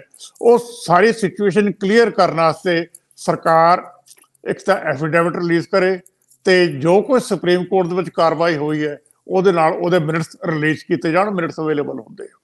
ਉਹ ਸੇਕ੍ਰੇਟ ਡਾਕੂਮੈਂਟ ਨਹੀਂ ਹੈ ਕੋਈ। ਤੀਜੀ ਗੱਲ, ਇਹ ਸਮੱਸਿਆ ਹੈ ਕੀ ਬੇਸਿਕਲੀ ਜਿਹੜੀ ਤੁਸੀਂ ਗੱਲ ਕੀਤੀ ਐਗਰੀਕਲਚਰ ਮਹਿਕਮੇ ਦੀ ਮੈਂ ਉੱਥੋਂ ਸ਼ੁਰੂ ਕਰਦਾ। ਮੈਂ ਪਹਿਲਾਂ ਸ਼ੁਰੂ ਉੱਥੋਂ ਕਰਨ ਲੱਗਿਆ ਸੀਗਾ, ਫਿਰ ਇਹ ਦੋ ਪੁਆਇੰਟ ਮੈਨੂੰ ਲੱਗਦਾ ਸੀ ਵੀ ਰਹਿ ਜਾਣਗੇ। ਇਹ ਐਸੇ ਮਹਿਕਮਾ ਜਿਹਨੂੰ ਲੈਣ ਨੂੰ ਕੋਈ ਛੇਤੀ ਕਿਤੇ ਤਿਆਰੀ ਨਹੀਂ ਹੁੰਦਾ, ਇਹ ਮੰਗ ਕੇ ਮਹਿਕਮਾ ਕੋਈ ਨਹੀਂ ਲੈਂਦਾ ਐਗਰੀਕਲਚਰ ਦਾ। ਜਦ ਕਿ ਪੰਜਾਬ, ਹਿੰਦੁਸਤਾਨ ਦੀ ਸਭ ਤੋਂ ਐਡਵਾਂਸ ਸਟੇਟ ਐਗਰੀਕਲਚਰ ਦੇ ਲੈਵਲ ਤੇ ਆ ਕੇ। ਔਰ ਇਹ ਤੇ ਪੰਜਾਬ ਦੀ ਇਕਨੋਮੀ ਟੋਟਲ ਇਸ ਸੈਕਟਰ ਤੇ ਡਿਪੈਂਡ ਕਰਦੀ ਹੈ। ਕੱਲੀ ਇਕਨੋਮੀ ਤੁਸੀਂ ਦੇਖੋ ਵੀ ਜਿੰਨੀ ਤੁਹਾਡੀ ਐਗਰੋ ਇੰਡਸਟਰੀ ਤੁਹਾਡੇ ਟਰੈਕਟਰ ਹੋਰ ਮਸ਼ੀਨਰੀ ਪੈਸਟੀਸਾਈਡਸ ਇਨਸੈਕਟੀਸਾਈਡਸ ਫਰਟੀਲਾਈਜ਼ਰ ਸਭ ਤੋਂ ਜ਼ਿਆਦਾ ਕੰਜ਼ੰਪਸ਼ਨ ਇਹਨਾਂ ਦੀ ਪੰਜਾਬ ਦੇ ਵਿੱਚ ਹੈ, ਜਦਕਿ ਇੱਕ ਛੋਟੀ ਜਿਹੀ ਸਟੇਟ ਹੈ। ਪ੍ਰੋਪੋਰਸ਼ਨੇਟਲੀ ਦੁਨੀਆ ਦੇ ਕਿਸੇ ਖਿੱਤੇ ਦੇ ਵਿੱਚ ਇਹਨਾਂ ਦੀ ਇੰਨੀ ਕੰਜਪਸ਼ਨ ਨਹੀਂ ਹੈ ਐਡੀ ਵੱਡੀ ਮਾਰਕੀਟ ਹੈ। ਇਸੇ ਕਰਕੇ ਕਦੇ-ਕਦੇ ਸਕੈਂਡਲ ਵੀ ਹੋ ਜਾਂਦੇ ਸੀ ਵੀ ਜੇ ਪੈਸਟੀਸਾਈਡ ਦਾ ਸਕੈਂਡਲ ਆ ਗਿਆ ਜੀ, ਕਦੇ ਕੋਈ ਸਕੈਂਡਲ ਆ ਗਿਆ। ਲੇਕਿਨ ਮਹਿਕਮਾ ਲੈਣ ਨੂੰ ਤਿਆਰ ਕੋਈ ਨਹੀਂ। ਹੁਣ ਸਭ ਤੋਂ ਅਸੀਂ ਐਡਵਾਂਸ ਸਟੇਟ ਐਗਰੀਕਲਚਰ ਦੀ, ਲੇਕਿਨ ਸਾਡੇ ਇੱਕ ਹੋਰ ਪਹਿਲੂ ਵੀ ਹੈ। ਸਾਡੇ ਕੋਲ ਐਗਰੀਕਲਚਰ ਪਾਲਿਸੀ ਵੀ ਕੋਈ ਨਹੀਂ ਕੈਪਟਨ ਅਮਰਿੰਦਰ ਸਿੰਘ ਜਦੋਂ ਉਹਨਾਂ ਨੇ ਸਰਕਾਰ ਬਣਾਈ ਸੀਗੀ ਪਿਛਲੀ, ਤੇ ਉਹਨਾਂ ਨੇ ਵਾਅਦਾ ਕੀਤਾ ਸੀ ਕਿ ਮੈਂ ਮੇਰੀ ਸਰਕਾਰ ਇੱਕ ਐਗਰੀਕਲਚਰ ਪਾਲਿਸੀ ਲੈ ਕੇ ਆਏਗੀ। ਉਹ ਪਾਲਿਸੀ ਬੜੀਆਂ ਨਹੀਂ ਬਣੀ ਕਿੱਥੇ ਹੈ, ਮੇਰੇ ਤਾਂ ਨੌਲੇਜ ਦੇ ਵਿੱਚ ਨਹੀਂ ਹੈ। ਇਸ ਤੋਂ ਪਹਿਲਾਂ ਅਕਾਲੀ ਸਰਕਾਰ ਰਹੀ, ਜਿਨ੍ਹਾਂ ਨੇ ਬੇਸ ਹੀ ਇਹ ਸੀਗਾ ਰੂਰਲ ਏਰੀਆ ਦੇ ਵਿੱਚ, ਉਦੋਂ ਵੀ ਪਾਲਿਸੀ ਕੋਈ ਨਹੀਂ ਸੀ। ਪਾਲਿਸੀ ਤਾਂ ਇੱਕੋ ਹੁੰਦੀ ਹੈ, ਗੱਲ ਤਾਂ ਉਹੀ ਚੱਲਦੀ ਹੁੰਦੀ ਹੈ। ਬ੍ਰਾਡ ਬੇਸ ਪਾਲਿਸੀ ਹੁੰਦੀ ਹੈ, ਸਰਕਾਰ ਨੇ ਕਿਵੇਂ ਚੱਲਣਾ ਇਹ ਸਰਕਾਰ ਨੂੰ ਚਾਹੀਦਾ ਹੈ ਕਿ ਪਹਿਲਾਂ ਤਾਂ ਇਸ ਪਾਸੇ ਧਿਆਨ ਦੇਵੇ ਪਾਲਿਸੀ ਕੀ ਬਣਾਉਣੀ ਹੈ। ਹੁਣ ਸਾਡੇ ਪੋਲੀਟੀਸ਼ੀਅਨ ਰਿਐਕਟ ਕਰ ਲੱਗ ਪੈਂਦੀ ਇਮੀਡੀਏਟਲੀ ਮਸਲਾ ਰਿਐਕਸ਼ਨ ਦਾ ਨਹੀਂ ਸਕੋਰ ਕਰਨ ਦਾ ਨਹੀਂ ਉਹ ਪੁਆਇੰਟਸ ਪੰਜਾਬ ਦੀ ਸਰਵਾਈਵਲ ਦਾ ਮਸਲਾ ਹੈ, ਪੰਜਾਬ ਦੀ ਹੋਂਦ ਦਾ ਮਸਲਾ ਹੈ। ਲੌਂਗ ਟਰਮ ਇਸ਼ੂਜ਼ ਹੈਗੇ ਹੈ।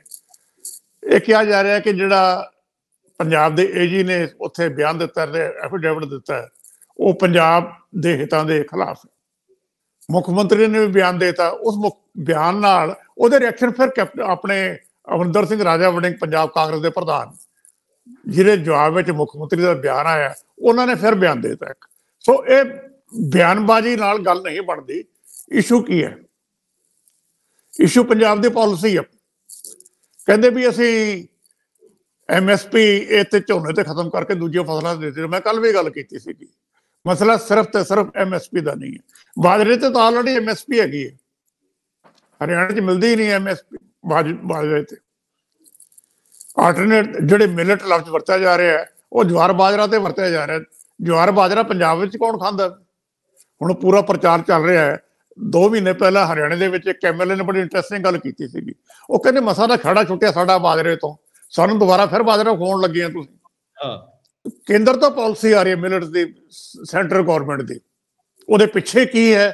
ਇਹ ਕਈ ਵਾਰੀ ਬਹੁਤ ਵੱਡੀਆਂ ਪਿੱਛੇ, ਇਹ ਤੁਹਾਡੀਆਂ ਜਿਹੜੀ ਮਲਟੀਨੈਸ਼ਨਲ ਹੁੰਦੀਆਂ, ਉਹਨਾਂ ਦੀ ਪਾਲਿਸੀ ਕੀ ਹੈ? ਕਈ ਵਾਰੀ ਉੱਥੋਂ ਇਹ ਜਿਹੜਾ ਫੂਡ ਗ੍ਰੇਨ ਟ੍ਰੇਡ ਹੈ, ਇਹ ਤੇ ਇਹਦੇ ਪਿੱਛੇ ਵੀ ਬਹੁਤ ਕੁਝ ਹੈਗਾ ਸਾਰਾ ਇੰਟਰਨੈਸ਼ਨਲ ਲੈਵਲ ਤੇ। ਫਾਰਮਾਸਿਊਟੀਕਲ ਤੇ ਔਰ ਫੂਡ ਗ੍ਰੇਨ ਦੋਵਾਂ ਤੇ। ਦੋਵੇਂ ਕਾਰਪੋਰੇਟਸ ਤੇ ਕੰਟਰੋਲਡ ਹੈਗੇ ਸਰਕਾਰਾਂ ਦੀ ਪਾਲਿਸੀ ਕਈ ਵਾਰੀ ਜਿਵੇਂ ਹੁਣ ਕਹਿੰਦੇ ਮਿਲਟਸ ਤੇ ਆ ਜਾਓ, ਇਹਦੇ ਪਿੱਛੇ ਕੀ ਹੈ? ਗੱਲ ਹੌਲੀ ਹੌਲੀ ਸਾਹਮਣੇ ਸਾਹਮਣੇ ਆਏਗੀ। ਲੇਕਿਨ ਗੱਲ ਇਹ ਹੈ ਕਿ ਪੰਜਾਬ ਦੀ ਸਮੱਸਿਆ ਕੀ ਹੈ? ਸਮੱਸਿਆ ਐਮਐਸਪੀ ਨਹੀਂ ਹੈ। ਐਮਐਸ 23 ਫਸਲਾਂ ਤੇ ਐਮਐਸਪੀ ਆਲਰੇਡੀ ਹੈਗੇ, ਮੈਂ ਕੱਲ ਵੀ ਗੱਲ ਕੀਤੀ ਸੀ, ਉਹਦੇ ਚ ਬਾਜਰਾ ਵੀ ਹੈਗਾ। ਮੱਕੀ ਵੀ ਹੈਗੀ ਹੈ। ਦੋਵੇਂ ਮਿਲਟਸ ਗੜੇ ਜਾਂਦੇ ਆ। ਤੇ ਸਮੱਸਿਆ ਕਿੱਥੇ ਹੈ ਫਿਰ? ਸਮੱਸਿਆ ਹੈ ਅਸ਼ੋਰਡ ਮਾਰਕੀਟ। ਜਿੰਨਾ ਪ੍ਰੋਫਿਟ ਪਰ ਏਕੜ ਕਿਸਾਨ ਨੂੰ ਪੈਡੀ ਤੇ ਮਿਲਦਾ ਹੈ ਅਸ਼ੋਰਡ ਮਾਰਕੀਟ ਔਰ ਐਮਐਸਪੀ ਤੇ। ਤੁਸੀਂ ਇਸੇ ਪ੍ਰੋਪੋਰਸ਼ਨ ਨੂੰ ਪ੍ਰੋਫਿਟ ਇੰਨਾ ਹੀ ਪ੍ਰੋਫਿਟ ਕਿਸੇ ਹੋਰ ਫਸਲ ਤੇ ਉਹਨੂੰ ਅਸ਼ੋਰ ਕਰੋ ਤੇ ਉਸੇ ਵੇਲੇ ਡਾਈਵਰਸਿਫਿਕੇਸ਼ਨ ਹੋ ਜਾਏਗੀ। ਗੱਲ ਸਿਰਫ ਤੇ ਸਿਰਫ ਇਹ ਕਹਿਣਾ ਕਿ ਅਸੀਂ ਫਲਾਨੀ ਫਸਲ ਤੇ ਐਮਐਸਪੀ ਦੇਤੀ ਜੀ, ਇਹ ਨਹੀਂ ਹੈ। ਅਸ਼ੋਰਡ ਮਾਰਕੀਟ ਕੱਲੀ ਦੇ ਰੋ ਇਹ ਵੀ ਨਹੀਂ ਹੈ। ਜਿਹੜਾ ਪ੍ਰੋਫਿਟ ਦਾ ਮਾਰਜਨ ਹੈ, ਜਿੰਨਾ ਪੈਡੀ ਤੇ ਹੈ, ਤੁਸੀਂ ਉਹ ਅਸ਼ੋਰ ਕਰੋ ਨਾਲ ਤੀਸਰਾ ਪੁਆਇੰਟ ਇਹ ਹੈ। ਤਾਂ ਇਹ ਸਮੱਸਿਆ ਜਿਹੜੀ ਹੈ, ਇਹ ਹੱਲ ਹੋਏਗੀ ਪੰਜਾਬ ਦੀ। ਇੱਕ ਪੁਆਇੰਟ ਹੋਰ ਆ ਰਿਹਾ ਕਿ ਇਹ ਜਿੱਥੇ ਬਾਸਮਤੀ ਉਗਦੀ ਹੈ, ਉੱਥੇ ਸਮੱਸਿਆ ਨਹੀਂ ਹੈ। ਪੂਸਾ 44 ਦੀ ਸਮੱਸਿਆ ਹੈ। ਤੁਸੀਂ ਵੈਰਾਈਟੀ ਚੇਂਜ ਕਰ ਲਓ, ਕੋਈ ਵੈਰਾਈਟੀ ਨਵੀਂ ਦਾ ਵੀ ਅੱਜ ਨਾ ਆ ਗਿਆ ਕਿ ਆਹ ਵੈਰਾਈਟੀ ਹੈਗੀ ਹੈ। ਇੱਕ ਹੋਰ ਪੁਆਇੰਟ ਅੱਜ ਛਪੀ ਹੋਈ ਹੈ ਖਬਰ ਕਿ ਫਾਰਮ ਫਾਇਰ ਦਾ ਜਿਹੜਾ ਨੰਬਰ ਹੈ ਕੰਪੈਰੀਟਿਵਲੀ ਉਹ ਬਹੁਤ ਘੱਟ ਹੈ ਡਿਸਟ੍ਰਿਕਟ ਵਾਈਜ਼ ਉਹ ਪ੍ਰੋਪੇਗੈਂਡਾ ਜ਼ਿਆਦਾ ਹੋ ਰਿਹਾ ਦਿੱਲੀ ਦੇ ਵਿੱਚ। ਜਿਹੜੀ ਦਿੱਲੀ ਦੀ ਆਪਣੀ ਸਮੱਸਿਆ ਹੈ, ਉਹ ਪੰਜਾਬ ਦੇ ਗਲ ਪਾਈ ਜਾ ਰਹੀ ਹੈ। ਉੱਥੇ ਵੀ ਆਮ ਆਦਮੀ ਪਾਰਟੀ ਦੀ ਸਰਕਾਰ ਹੈ ਤੇ ਪਹਿਲਾਂ ਸਾਰਾ ਬਲੇਮ ਹੀ ਇਹ ਪੰਜਾਬ ਤੇ ਪਾਉਂਦੇ ਸੀਗੇ। ਜਿਹੜੀ ਦਿੱਲੀ ਦੀ ਆਪਣੀ ਪੋਲੂਸ਼ਨ ਹੈ ਐਨਸੀਆਰ ਦੀ ਪੋਲੂਸ਼ਨ ਹੈ, ਇਹ ਸਾਰਾ ਕੁਝ ਮਿਲ ਕੇ ਇਹ ਇਕੱਠਾ ਹੋ ਗਿਆ ਦਿੱਲੀ ਦੇ ਵਿੱਚ। ਪੰਜਾਬ ਚੋਂ ਧੂਆਂ ਉੱਡਦਾ, ਪੰਜਾਬ ਵਿੱਚ ਉਹ ਸਿਚੁਏਸ਼ਨ ਉਹਨੇ ਬੱਤਰ ਕਿਉਂ ਨਹੀਂ ਹੈ? ਪੰਜਾਬ ਦਾ ਸ਼ਹਿਰ ਲੁਧਿਆਣਾ ਸਭ ਤੋਂ ਪੋਲੂਟਡ ਗਿਣਿਆ ਜਾਂਦਾ ਉੱਥੇ ਵੀ ਦਿੱਲੀ ਜਿੰਨਾ ਬੁਰਾ ਹਾਲ ਨਹੀਂ ਹੈ। ਕੀ ਕਾਰਨ ਹੈ ਕਿ ਦਿੱਲੀ ਜ਼ਿਆਦਾ ਗੜਬੜ ਹੈਗੀ ਹੈ? ਕੀ ਉਹ ਸਿਰਫ ਪੰਜਾਬ ਦੇ ਧੂਏ ਕਰਕੇ ਹੈ? ਸੋ ਇਹ ਜਿਹੜੀ ਡਾਇਵਰਸ਼ਨ ਹੈ, ਇਹ ਹਟਣੀ ਚਾਹੀਦੀ ਹੈ। ਅਗਲੀ ਗੱਲ ਮੈਂ ਕਰਦਾ ਜਿਹੜੇ ਪੰਜਾਬ ਪੋਲੀਟੀਸ਼ੀਅਨ ਰਿਐਕਟ ਕਰਦੇ ਆ। ਪੰਜਾਬ ਨੂੰ ਇਹ ਦੂਸ਼ਣਵਾਦੀ ਲੋੜ ਨਹੀਂ। ਮੈਂ ਲਗਾਤਾਰ ਇੱਕ ਸਟੈਂਡ ਲੈ ਕੇ ਪੰਜਾਬ ਨੂੰ ਇੱਕ ਆਮ ਸਹਿਮਤੀ ਵਾਲੀ ਪਾਲਿਸੀ ਦੀ ਲੋੜ ਹੈਗੀ ਹੈ। ਸਾਰੀਆਂ ਪਾਰਟੀਆਂ ਐਕਸਪਰਟਸ ਬੁਲਾ ਕੇ ਤੁਸੀਂ ਇੱਕ ਪਾਲਿਸੀ ਆਮ ਸਹਿਮਤੀ ਬਣਾਓ ਚਾਰ ਪੰਜ ਇਸ਼ੂਸ ਤੇ। ਉਹਦੇ ਵਿੱਚ ਐਗਰੀਕਲਚਰ ਵੀ ਹੈ, ਉਹਦੇ ਸਬਸਿਡੀ ਕਿਵੇਂ ਜਿਹੜਾ ਟਿਊਬਵੈਲ ਦੀ ਵੀ ਹੈ। ਇਹ ਤੁਹਾਡਾ ਕ੍ਰਾਪਿੰਗ ਪੈਟਰਨ ਹੈ, ਇਹਦੀ ਵੀ ਹੈ। ਜੇ ਤੁਸੀਂ ਇੱਕ ਆਮ ਸਹਿਮਤੀ ਬਣਾ ਕੇ ਉਸ ਤੋਂ ਬਾਅਦ ਪਾਲਿਸੀ ਫਰੇਮਵਰਕ ਦੇ ਵਿੱਚ ਨੂੰ ਆਪਟ ਕਰੋਗੇ, ਤਾਂ ਇਹਦੇ ਸੋਲੂਸ਼ਨ ਲੱਭਣਗੇ। ਜੇ ਸਰਕਾਰ ਇੱਕ ਡੈਫਿਡ ਐਫੀਡੇਵਿਟ ਸੁਪਰੀਮ ਕੋਰਟ ਦੇ ਵਿੱਚ ਦੇ ਦਿੰਦੀ ਹੈ ਬਿਨਾਂ ਪਾਲਿਸੀ ਬਣਾਇਆ। ਇਹ ਜਰਕ ਰਿਐਕਸ਼ਨ ਹੈ ਸੁਪਰੀਮ ਕੋਰਟ ਦੇ ਇਸ ਤਰ੍ਹਾਂ ਕੋਈ ਕੇਸ ਆ ਗਿਆ ਜੀ ਤੇ ਹੁਣ ਐਫੀਡੇਵਿਟ ਦੇ ਦਿਓ। ਪਹਿਲਾਂ ਤੁਸੀਂ ਪਾਲਿਸੀ ਦਾ ਬਣਾਓ ਪਹਿਲੇ ਬੈਠ ਕੇ। ਸੁਪਰੀਮ ਕੋਰਟ ਤੋਂ ਟਾਈਮ ਲੈ ਲਓ ਕਿ ਉੱਥੇ ਐਫੀਡੇਵਿਟ ਦੇ ਦਿਓ ਵੀ 6 ਮਹੀਨੇ ਚ ਅਸੀਂ ਪਾਲਿਸੀ ਬਣਾ ਰਹੇ ਹਾਂ ਸਾਰੀ। ਉਹਦੇ ਚ ਕੰਸੈਂਸਸ ਇਵਾਲਵ ਕਰੋ, ਸਾਰਿਆਂ ਦਾ ਉੱਥੇ ਇੱਕ ਮਤ ਹੋਵੇ ਐਕਸਪਰਟਸ ਬੁਲਾਓ ਪੋਲੀਟੀਕਲ ਪਾਰਟੀਆਂ ਬੁਲਾਓ, ਤਾਂ ਇਹਦਾ ਹੱਲ ਨਿਕਲੂਗਾ। ਅਦਰਵਾਈਜ਼ ਦੁਸ਼ਮਣਬਾਜ਼ੀ ਦੇ ਵਿੱਚ ਕੁਝ ਨਹੀਂ ਪਿਆ। ਭਗਵੰਤ ਮਾਨ ਨੂੰ ਇਹ ਸਮਝ ਆਉਣੀ ਚਾਹੀਦੀ ਹੈ। ਮੈਨੂੰ ਗੱਲ ਹੋਰ ਵੀ ਹੈਰਾਨੀ ਹੈ। 1999 ਤੋਂ ਲੈ ਕੇ 2020 ਤੱਕ ਪੰਜਾਬ ਕੇਂਦਰ ਸਰਕਾਰ ਦਾ ਪਾਰਟ ਰਿਹਾ। ਨੁਮਾਇੰਦਗੀ ਪੰਜਾਬ ਦੀ ਰਹੀ ਹੈ। ਅਸੀਂ ਇਹ ਮਸਲੇ ਹੱਲ ਕਰਨ ਵੱਲ ਕਿਉਂ ਨਹੀਂ ਤੁਰੇ ਅੱਜ ਤੱਕ? ਕੇਂਦਰ ਸਰਕਾਰ ਨਾਲ ਇਹ ਮਸਲੇ ਜਿਹੜੇ ਫਾਰਮ ਸੈਕਟਰ ਦੇ ਹੈ, ਕਿਉਂ ਟੇਕ ਅਪ ਨਹੀਂ ਕੀਤੇ ਗਏ? ਕਸੂਰਵਾਰ ਕੌਣ ਹੈ ਇਹਦੇ ਵਿੱਚ? ਅੱਜ ਤਾਂ ਇਹ ਨਵੀਂ ਪਾਰਟੀ ਪਾਵਰ ਦੇ ਵਿੱਚ ਆਈ ਹੈ। ਤੁਸੀਂ ਗਾਲਾਂ ਕੱਢੀ ਚੱਲੋ, ਕੋਈ ਗੱਲ ਨਹੀਂ। ਵੀ ਇਹਨਾਂ ਦਾ ਕਸੂਰ ਹੈ ਜੀ, ਇਹ ਇਹਨਾਂ ਤੋਂ ਹੱਲ ਨਹੀਂ ਹੋ ਰਿਹਾ। ਲੇਕਿਨ ਪਿੱਛੇ ਵੀ ਝਾਤ ਮਾਰਨੀ ਪਏਗੀ। ਬਈ ਤੱਕ ਕੇਂਦਰ ਸਰਕਾਰ ਦੇ ਭਾਈਵਾਲ ਸੀ 99 ਤੋਂ ਲੈ ਕੇ 2020 ਤੱਕ। ਕਾਂਗਰਸ ਦੀ ਸਰਕਾਰ ਵੀ ਰਹੀ, ਫਿਰ ਨੌ ਮਾਸ ਦੇ ਰਿਸ਼ਤੇ ਵਾਲਿਆਂ ਦੇ ਵੀ ਭਾਈਵਾਲੀ ਰਹੀ, ਸਾਰਾ ਕੁਝ ਰਿਹਾ। ਉਦੋਂ ਕਿਉਂ ਨਹੀਂ ਇਸ਼ੂਸ ਟੇਕ ਅਪ ਕੀਤੇ ਜਾਂਦੇ? ਸੋ ਇਸ਼ੂਸ ਵਾਈਡ ਰਹਿ ਗਏ ਲੇਕਿਨ ਇੱਕ ਮੈਂ ਰਿਪੀਟ ਕਰਦਾ ਐਫੀਡੇਵਿਟ ਜਿਹੜਾ ਸੁਪਰੀਮ ਕੋਰਟ ਦਿੱਤਾ ਹੋਇਆ ਉਹ ਰਿਲੀਜ਼ ਕੀਤਾ ਜਾਵੇ। ਤੇ ਨਾਲ ਉਹਦੇ ਸੁਪਰੀਮ ਕੋਰਟ ਦੇ ਵਿੱਚ ਕੇਸੇ ਦੇ ਮਿੰਟ ਸਾਰੇ ਰਿਲੀਜ਼ ਕੀਤੇ ਜਾਣ ਤਾਂ ਕਿ ਪੰਜਾਬ ਸਰਕਾਰ ਦਾ ਜਿਹੜਾ ਸਹੀ ਸਟੈਂਡ ਹੈ ਉਹ ਪਤਾ ਲੱਗੇ ਤੇ ਉਸ ਤੋਂ ਬਾਅਦ ਇਹ ਨੀਤੀਗਤ ਫੈਸਲਾ ਕੀਤਾ ਜਾਵੇ। ਜੀ। ਇਹ ਗੱਲ ਅਜੇ ਇੰਨੀ ਜਲਦੀ ਮੁੱਕਣ ਵਾਲੀ ਨਹੀਂ। ਐਕਸ਼ਨ ਦਾ ਰਿਐਕਸ਼ਨ ਤਾਂ ਹੁੰਦੇ ਰਹਿਣਗੇ। ਤੁਹਾਡੀ ਗੱਲ ਠੀਕ ਹੈ ਕਿ ਜੇ ਸਰਕਾਰ ਕਿਸੇ ਗੱਲ ਨੂੰ ਮੁਕਾਉਣਾ ਚਾਹੁੰਦੀ ਹੈ ਜਾਂ ਬਿਲਕੁਲ ਆਪਣਾ ਪੱਖ ਪੇਸ਼ ਕਰਨਾ ਚਾਹੁੰਦੀ ਹੈ ਤਾਂ ਕੀ ਮੁਸ਼ਕਲ ਹੈ? ਪਬਲਿਕ ਡੋਮੇਨ ਦੇ ਵਿੱਚ ਤੁਸੀਂ ਵੈਸੇ ਵੀ ਤਾਂ ਚੀਜ਼ਾਂ ਰੱਖਦੇ ਹੀ ਹੋ। ਇਹ ਤੱਥ ਵੀ ਰੱਖ ਦੇਣੇ ਚਾਹੀਦੇ ਆ। ਸਰਦਾਰ ਹਮੀਰ ਸਿੰਘ ਜੀ, ਆਪਾਂ ਅਗਲੀ ਖਬਰ ਤੇ ਚੱਲਦੇ ਆਂ ਅੱਜ ਸਵੇਰੇ ਕੰਸਰਨ ਸ਼ੋ ਕਰਦੀ ਹੈ ਮਾਨਯੋਗ ਉੱਚ ਅਦਾਲਤ, Punjab and Haryana high court ਦੇ ਵਿੱਚ। ਉਹ ਮਾਮਲਾ ਜਿਹੜਾ ਹੁਣ ਪਿੱਛੇ ਚਲੇ ਗਿਆ ਔਰ ਜਿਹਦੇ ਉੱਤੇ ਕੋਈ ਗੱਲ ਨਹੀਂ ਸੀ ਹੋ ਰਹੀ, ਵਿੱਚ ਵਿੱਚ ਕਦੇ ਬਲਕੌਰ ਸਿੰਘ, ਸਿੱਧੂ ਮੂਸੇਵਾਲੇ, ਮਰਹੂਮ ਸਿੱਧੂ ਮੂਸੇਵਾਲੇ ਦੇ ਪਿਤਾ, ਉਹ ਆਪਣੀ ਐਤਵਾਰੀ ਗੱਲਬਾਤ ਦੇ ਵਿੱਚ ਕਦੇ-ਕਦੇ ਗੱਲ ਜ਼ਿਕਰ ਕਰਦੇ ਸੀ। ਔਰ ਵਿਰੋਧੀ ਧਿਰਾਂ ਕਿਤੇ ਬਹੁਤ, ਜਦੋਂ ਕਿਤੇ ਯਾਦ ਆਵੇ, ਸੋ ਜਿਹੜੀ ਜੇਲ੍ਹ ਦੇ ਵਿੱਚੋਂ ਲਾਰੈਂਸ ਬਿਸ਼ਨੋਈ ਦੀ ਇੰਟਰਵਿਊ ਹੁੰਦੀ ਹੈ, ਉਹ ਹੁਣ ਤੱਕ ਵੀ ਇੱਕ ਤਰ੍ਹਾਂ ਨਾਲ ਪੰਜਾਬ ਪੁਲਿਸ ਦਾ ਮੂੰਹ ਚੜਾ ਰਹੀ ਹੈ। ਡੀਜੀਪੀ ਪੰਜਾਬ ਨੇ ਆਪ ਸਾਹਮਣੇ ਆ ਕੇ ਕਿਹਾ ਸੀਗਾ ਕਿ ਸਾਡੀ ਜੇਲ੍ਹ ਦੇ ਵਿੱਚੋਂ ਇੰਟਰਵਿਊ ਨਹੀਂ ਹੋਈ। ਜਿਹੜਾ ਗੈਟ ਅਪ ਆ, ਉਹਨਾਂ ਦਿਖਾਇਆ ਸੀ ਕਿ ਸਾਡੀ ਜੇਲ੍ਹ ਦੇ ਵਿੱਚ ਤਾਂ ਉਹਨਾਂ ਦੀ ਉਹਦੀ ਵੇਸ਼ਭੂਸ਼ਾ ਇਹੋ ਜੀ ਆ ਗੈਟ ਅਪ ਇਹੋ ਜਿਹਾ ਹੈ, ਇਹ ਕਿਤੇ ਹੋਰ ਹੈ। ਲੇਕਿਨ ਦੂਜੀ ਇੰਟਰਵਿਊ ਉਸੇ ਤਰ੍ਹਾਂ ਦੇ ਕੱਪੜੇ ਤੇ ਉਸੇ ਤਰ੍ਹਾਂ ਦੀ ਸ਼ਕਲ ਸੂਰਤ ਨਾਲ ਉਸੇ ਤਰ੍ਹਾਂ ਹੀ ਕਲੀਨ ਸ਼ੇਵਨ ਜਾਂ ਬਾਕੀ ਚੀਜ਼ਾਂ ਦਾੜੀ ਕੱਟੀ ਹੋਈ ਦੇ ਵਿੱਚ ਉਹ ਇੰਟਰਵਿਊ ਅਗਲੀ ਆ ਗਈ। ਇਸ ਤੋਂ ਬਾਅਦ ਰੌਲਾ ਪੈ ਗਿਆ ਸੀਗਾ ਕਿ ਇਹ ਜਾਂਚ ਹੋਵੇ ਤੇ ਜਾਂਚ ਲਈ ਦੋ ਐਸਆਈਟੀਸ ਬਣੀਆਂ ਪਹਿਲਾਂ, ਇੱਕ ਫਿਰ ਦੂਜੀ। ਹੁਣ ਜਿਹੜੀ ਸਥਿਤੀ ਆ, ਉਹ ਅੱਜ ਦੁਪਹਿਰ ਬਾਅਦ ਹਾਈ ਕੋਰਟ ਨੇ ਇਹਦੇ ਸੰਬੰਧੀ ਜਾਂਚ ਦੇ ਨਤੀਜੇ ਸਬਮਿਟ ਕਰਨ ਲਈ ਕਿਹਾ ਸੀ ਕਿ ਤੁਹਾਡੀ ਜਾਂਚ ਕਿੱਥੇ ਖੜੀ ਹੈ। ਸੋ ਮੈਂ ਜੇ ਇਹਨੂੰ ਇਨ ਟੋਟੈਲਿਟੀ ਅਜੇ ਉਹ ਜਿਹੜੀ ਹਾਈ ਕੋਰਟ ਦੀ ਇਸ ਤੋਂ ਬਾਅਦ ਦੀ ਸੁਣਵਾਈ, ਉਹਦਾ ਕੋਈ ਤੱਥ ਪੇਸ਼ ਨਹੀਂ ਹੋਇਆ। ਇਹ ਵੀ ਨਹੀਂ ਪਤਾ ਲੱਗਿਆ ਕਿ ਪੰਜਾਬ ਸਰਕਾਰ ਨੇ ਉਹਦੇ ਵਿੱਚ ਜਾ ਕੇ ਕੀ ਕਿਹਾ, ਸਮਾਂ ਲੱਗਿਆ ਜਾਂ ਜੇ ਕੋਈ ਜਾਂਚ ਹੋਈ ਸੀ ਤੇ ਉਹਦੀ ਕੋਈ ਇੰਟਰਮ ਰਿਪੋਰਟ ਪੇਸ਼ ਕੀਤੀ ਹੈ। ਆਪਾਂ ਇਸ ਗੱਲ ਨੂੰ ਇੱਕ ਪੱਲੀ ਪਾਸੇ ਜੇ ਰੱਖ ਕੇ ਮੈਂ ਤੁਹਾਡੇ ਤੋਂ ਸਮਝਣਾ ਚਾਹਾਂ ਕਿ ਇੰਨੇ ਸੈਂਸਿਟਿਵ ਮਾਮਲਿਆਂ ਦੇ ਉੱਤੇ ਸਰਕਾਰ ਚੁੱਪ ਕਿਉਂ ਕਰ ਜਾਂਦੀ ਹੈ, ਜਦੋਂ ਕਿ ਇਹਨਾਂ ਦਾ ਕੋਈ ਲਾਗਾ ਦੇਗਾ ਨਹੀਂ ਸੀ ਇਹਨਾਂ ਮਾਮਲਿਆਂ ਨਾਲ। ਇਹਨਾਂ ਦੇ ਹੀ ਅਨੁਸਾਰ ਔਰ ਇਹਨਾਂ ਨੇ ਤਾਂ ਇੱਕ ਬਿਹਤਰ ਗਵਰਨਮੈਂਟ ਦੇਣੀ ਸੀ ਔਰ ਲੋਕਾਂ ਦੇ ਜਿੰਨੇ ਸ਼ੱਕ ਸ਼ੁਬੇ ਦੂਰ ਕਰਨੇ ਸੀ, ਕੀ ਕਹਿੰਦੇ ਲਾ ਐਂਡ ਆਰਡਰ ਜਿਹੜਾ ਬਹੁਤ ਇੰਪੋਰਟੈਂਟ ਸਬਜੈਕਟ ਹੁੰਦਾ ਕਿਸੇ ਵੀ ਮਾਮਲੇ ਦੇ ਵਿੱਚ, ਔਰ ਬਲਕਿ ਬਹੁਤੀਆਂ ਸਰਕਾਰਾਂ ਇਹੀ ਇਸੇ ਆਧਾਰ ਤੇ ਕਈ ਵਾਰ ਚੱਲ ਜਾਂਦੀਆਂ ਨੇ ਕਿ ਦੇਖੋ ਜੀ ਲਾ ਐਂਡ ਆਰਡਰ ਕਿੰਨਾ ਸੁਧਰ ਗਿਆ। ਜਿਵੇਂ ਯੂਪੀ ਦਾ ਮਾਮਲਾ ਯੂਪੀ ਦੇ ਵਿੱਚ ਹਾਲਾਂਕਿ ਲਾ ਐਂਡ ਆਰਡਰ ਇਹਨੂੰ ਲਾ ਐਂਡ ਆਰਡਰ ਨਹੀਂ ਕਹਿੰਦੇ ਕਿ ਤੁਹਾਡੇ ਅਰੈਸਟ 'ਚ ਬੰਦੇ ਮਾਰੀ ਜਾਓ। ਕਿੰਨੇ ਬੰਦੇ ਅਰੈਸਟ ਪੁਲਿਸ ਦੇ ਕੋਲ ਅਰੈਸਟਡ ਸੀਗੇ। ਕਸਟੋਡੀਅਲ ਹਿਰਾਸਤ ਜਿਹਨੂੰ ਮੰਨਦੇ ਆ, ਉਹ ਚ ਮਰ ਜਾਂਦੇ ਨੇ, ਕੋਈ ਤਰੀਕਾ ਨਹੀਂ ਹੁੰਦਾ ਰੂਲ ਆਫ ਲਾ ਦਾ। ਪਰ ਫਿਰ ਵੀ ਨਾ ਇੱਕ ਪਰਸੈਪਸ਼ਨ ਚਲੀ ਗਈ, ਦੇਖੋ ਜੀ ਯੂਪੀ ਠੀਕ ਹੋ ਗਿਆ ਲਾ ਐਂਡ ਆਰਡਰ ਦੇ ਮਾਮਲੇ ਦੇ ਵਿੱਚ। ਪੰਜਾਬ ਦੇ ਵਿੱਚ ਲਾ ਐਂਡ ਆਰਡਰ ਦੀ ਸਿਚੁਏਸ਼ਨ ਆਪਣੇ ਸਾਹਮਣੇ ਹੈ। ਕਿਸੇ ਦੇ ਘਰ-ਬਾਰ ਗੋਲੀ ਚੱਲ ਜਾਂਦੀ ਹੈ, ਕਿਸੇ ਦੁਕਾਨਦਾਰ ਦੇ ਗੋਲੀ ਚੱਲ ਜਾਂਦੀ ਹੈ, ਕੋਈ ਆਪਸ ਦੇ ਵਿੱਚ ਬੜੇ ਬੜੇ ਹੀ ਕੇਸਸ ਨਾਰਮਲ ਤਰੀਕੇ ਨਾਲ ਵਾਪਰ ਰਹੇ ਨੇ। ਔਰ ਉਹਨੂੰ ਅਸੀਂ ਨਾਰਮਲ ਤਰੀਕੇ ਨਾਲ ਲੈ ਰਹੇ ਹਾਂ ਤੇ ਸਟੇਟ ਵੀ ਨਾਰਮਲ ਤਰੀਕੇ ਨਾਲ ਲੈ ਰਹੀ ਹੈ। ਕਦੇ ਕੋਈ ਇਹੋ ਜਿਹਾ ਮਤਲਬ ਤੇਜ਼ੀ ਜਾਂ ਬਾਕੀ ਚੀਜ਼ਾਂ ਦੀ ਨਜ਼ਰ ਨਹੀਂ ਆਈ ਕਿ ਸਟੇਟ ਉਹਨੂੰ ਬਹੁਤ ਬਿਹਤਰ ਤਰੀਕੇ ਨਾਲ ਟੈਕਲ ਕਰਨ ਦੇ ਰਾਹ ਕਿਸੇ ਨਾ ਕਿਸੇ ਰੂਪ ਚ ਪਈ ਹੋਈ ਹੈ। ਔਰ ਦੂਜੀ ਗੱਲ ਇਹ ਵੀ ਹੈ ਸਟੇਟ ਮੈਨੂੰ ਲੱਗਦਾ ਹੈ ਕਿ ਅਡਹਾਕਿਜ਼ਮ ਬਹੁਤ ਭਾਰੀ ਹੈ।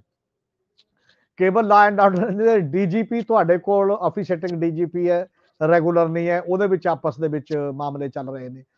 ਐਫਸੀਡੀ ਤੁਹਾਡੇ ਕੋਲ ਆਫਿਸ ਆਫੀਸੇਟਿੰਗ ਹੈ ਐਡੀਸ਼ਨਲ ਇੰਚਾਰਜ ਹੈ, ਤੁਹਾਡੇ ਕੋਲ ਕੁਝ ਨਹੀਂ ਹੈ।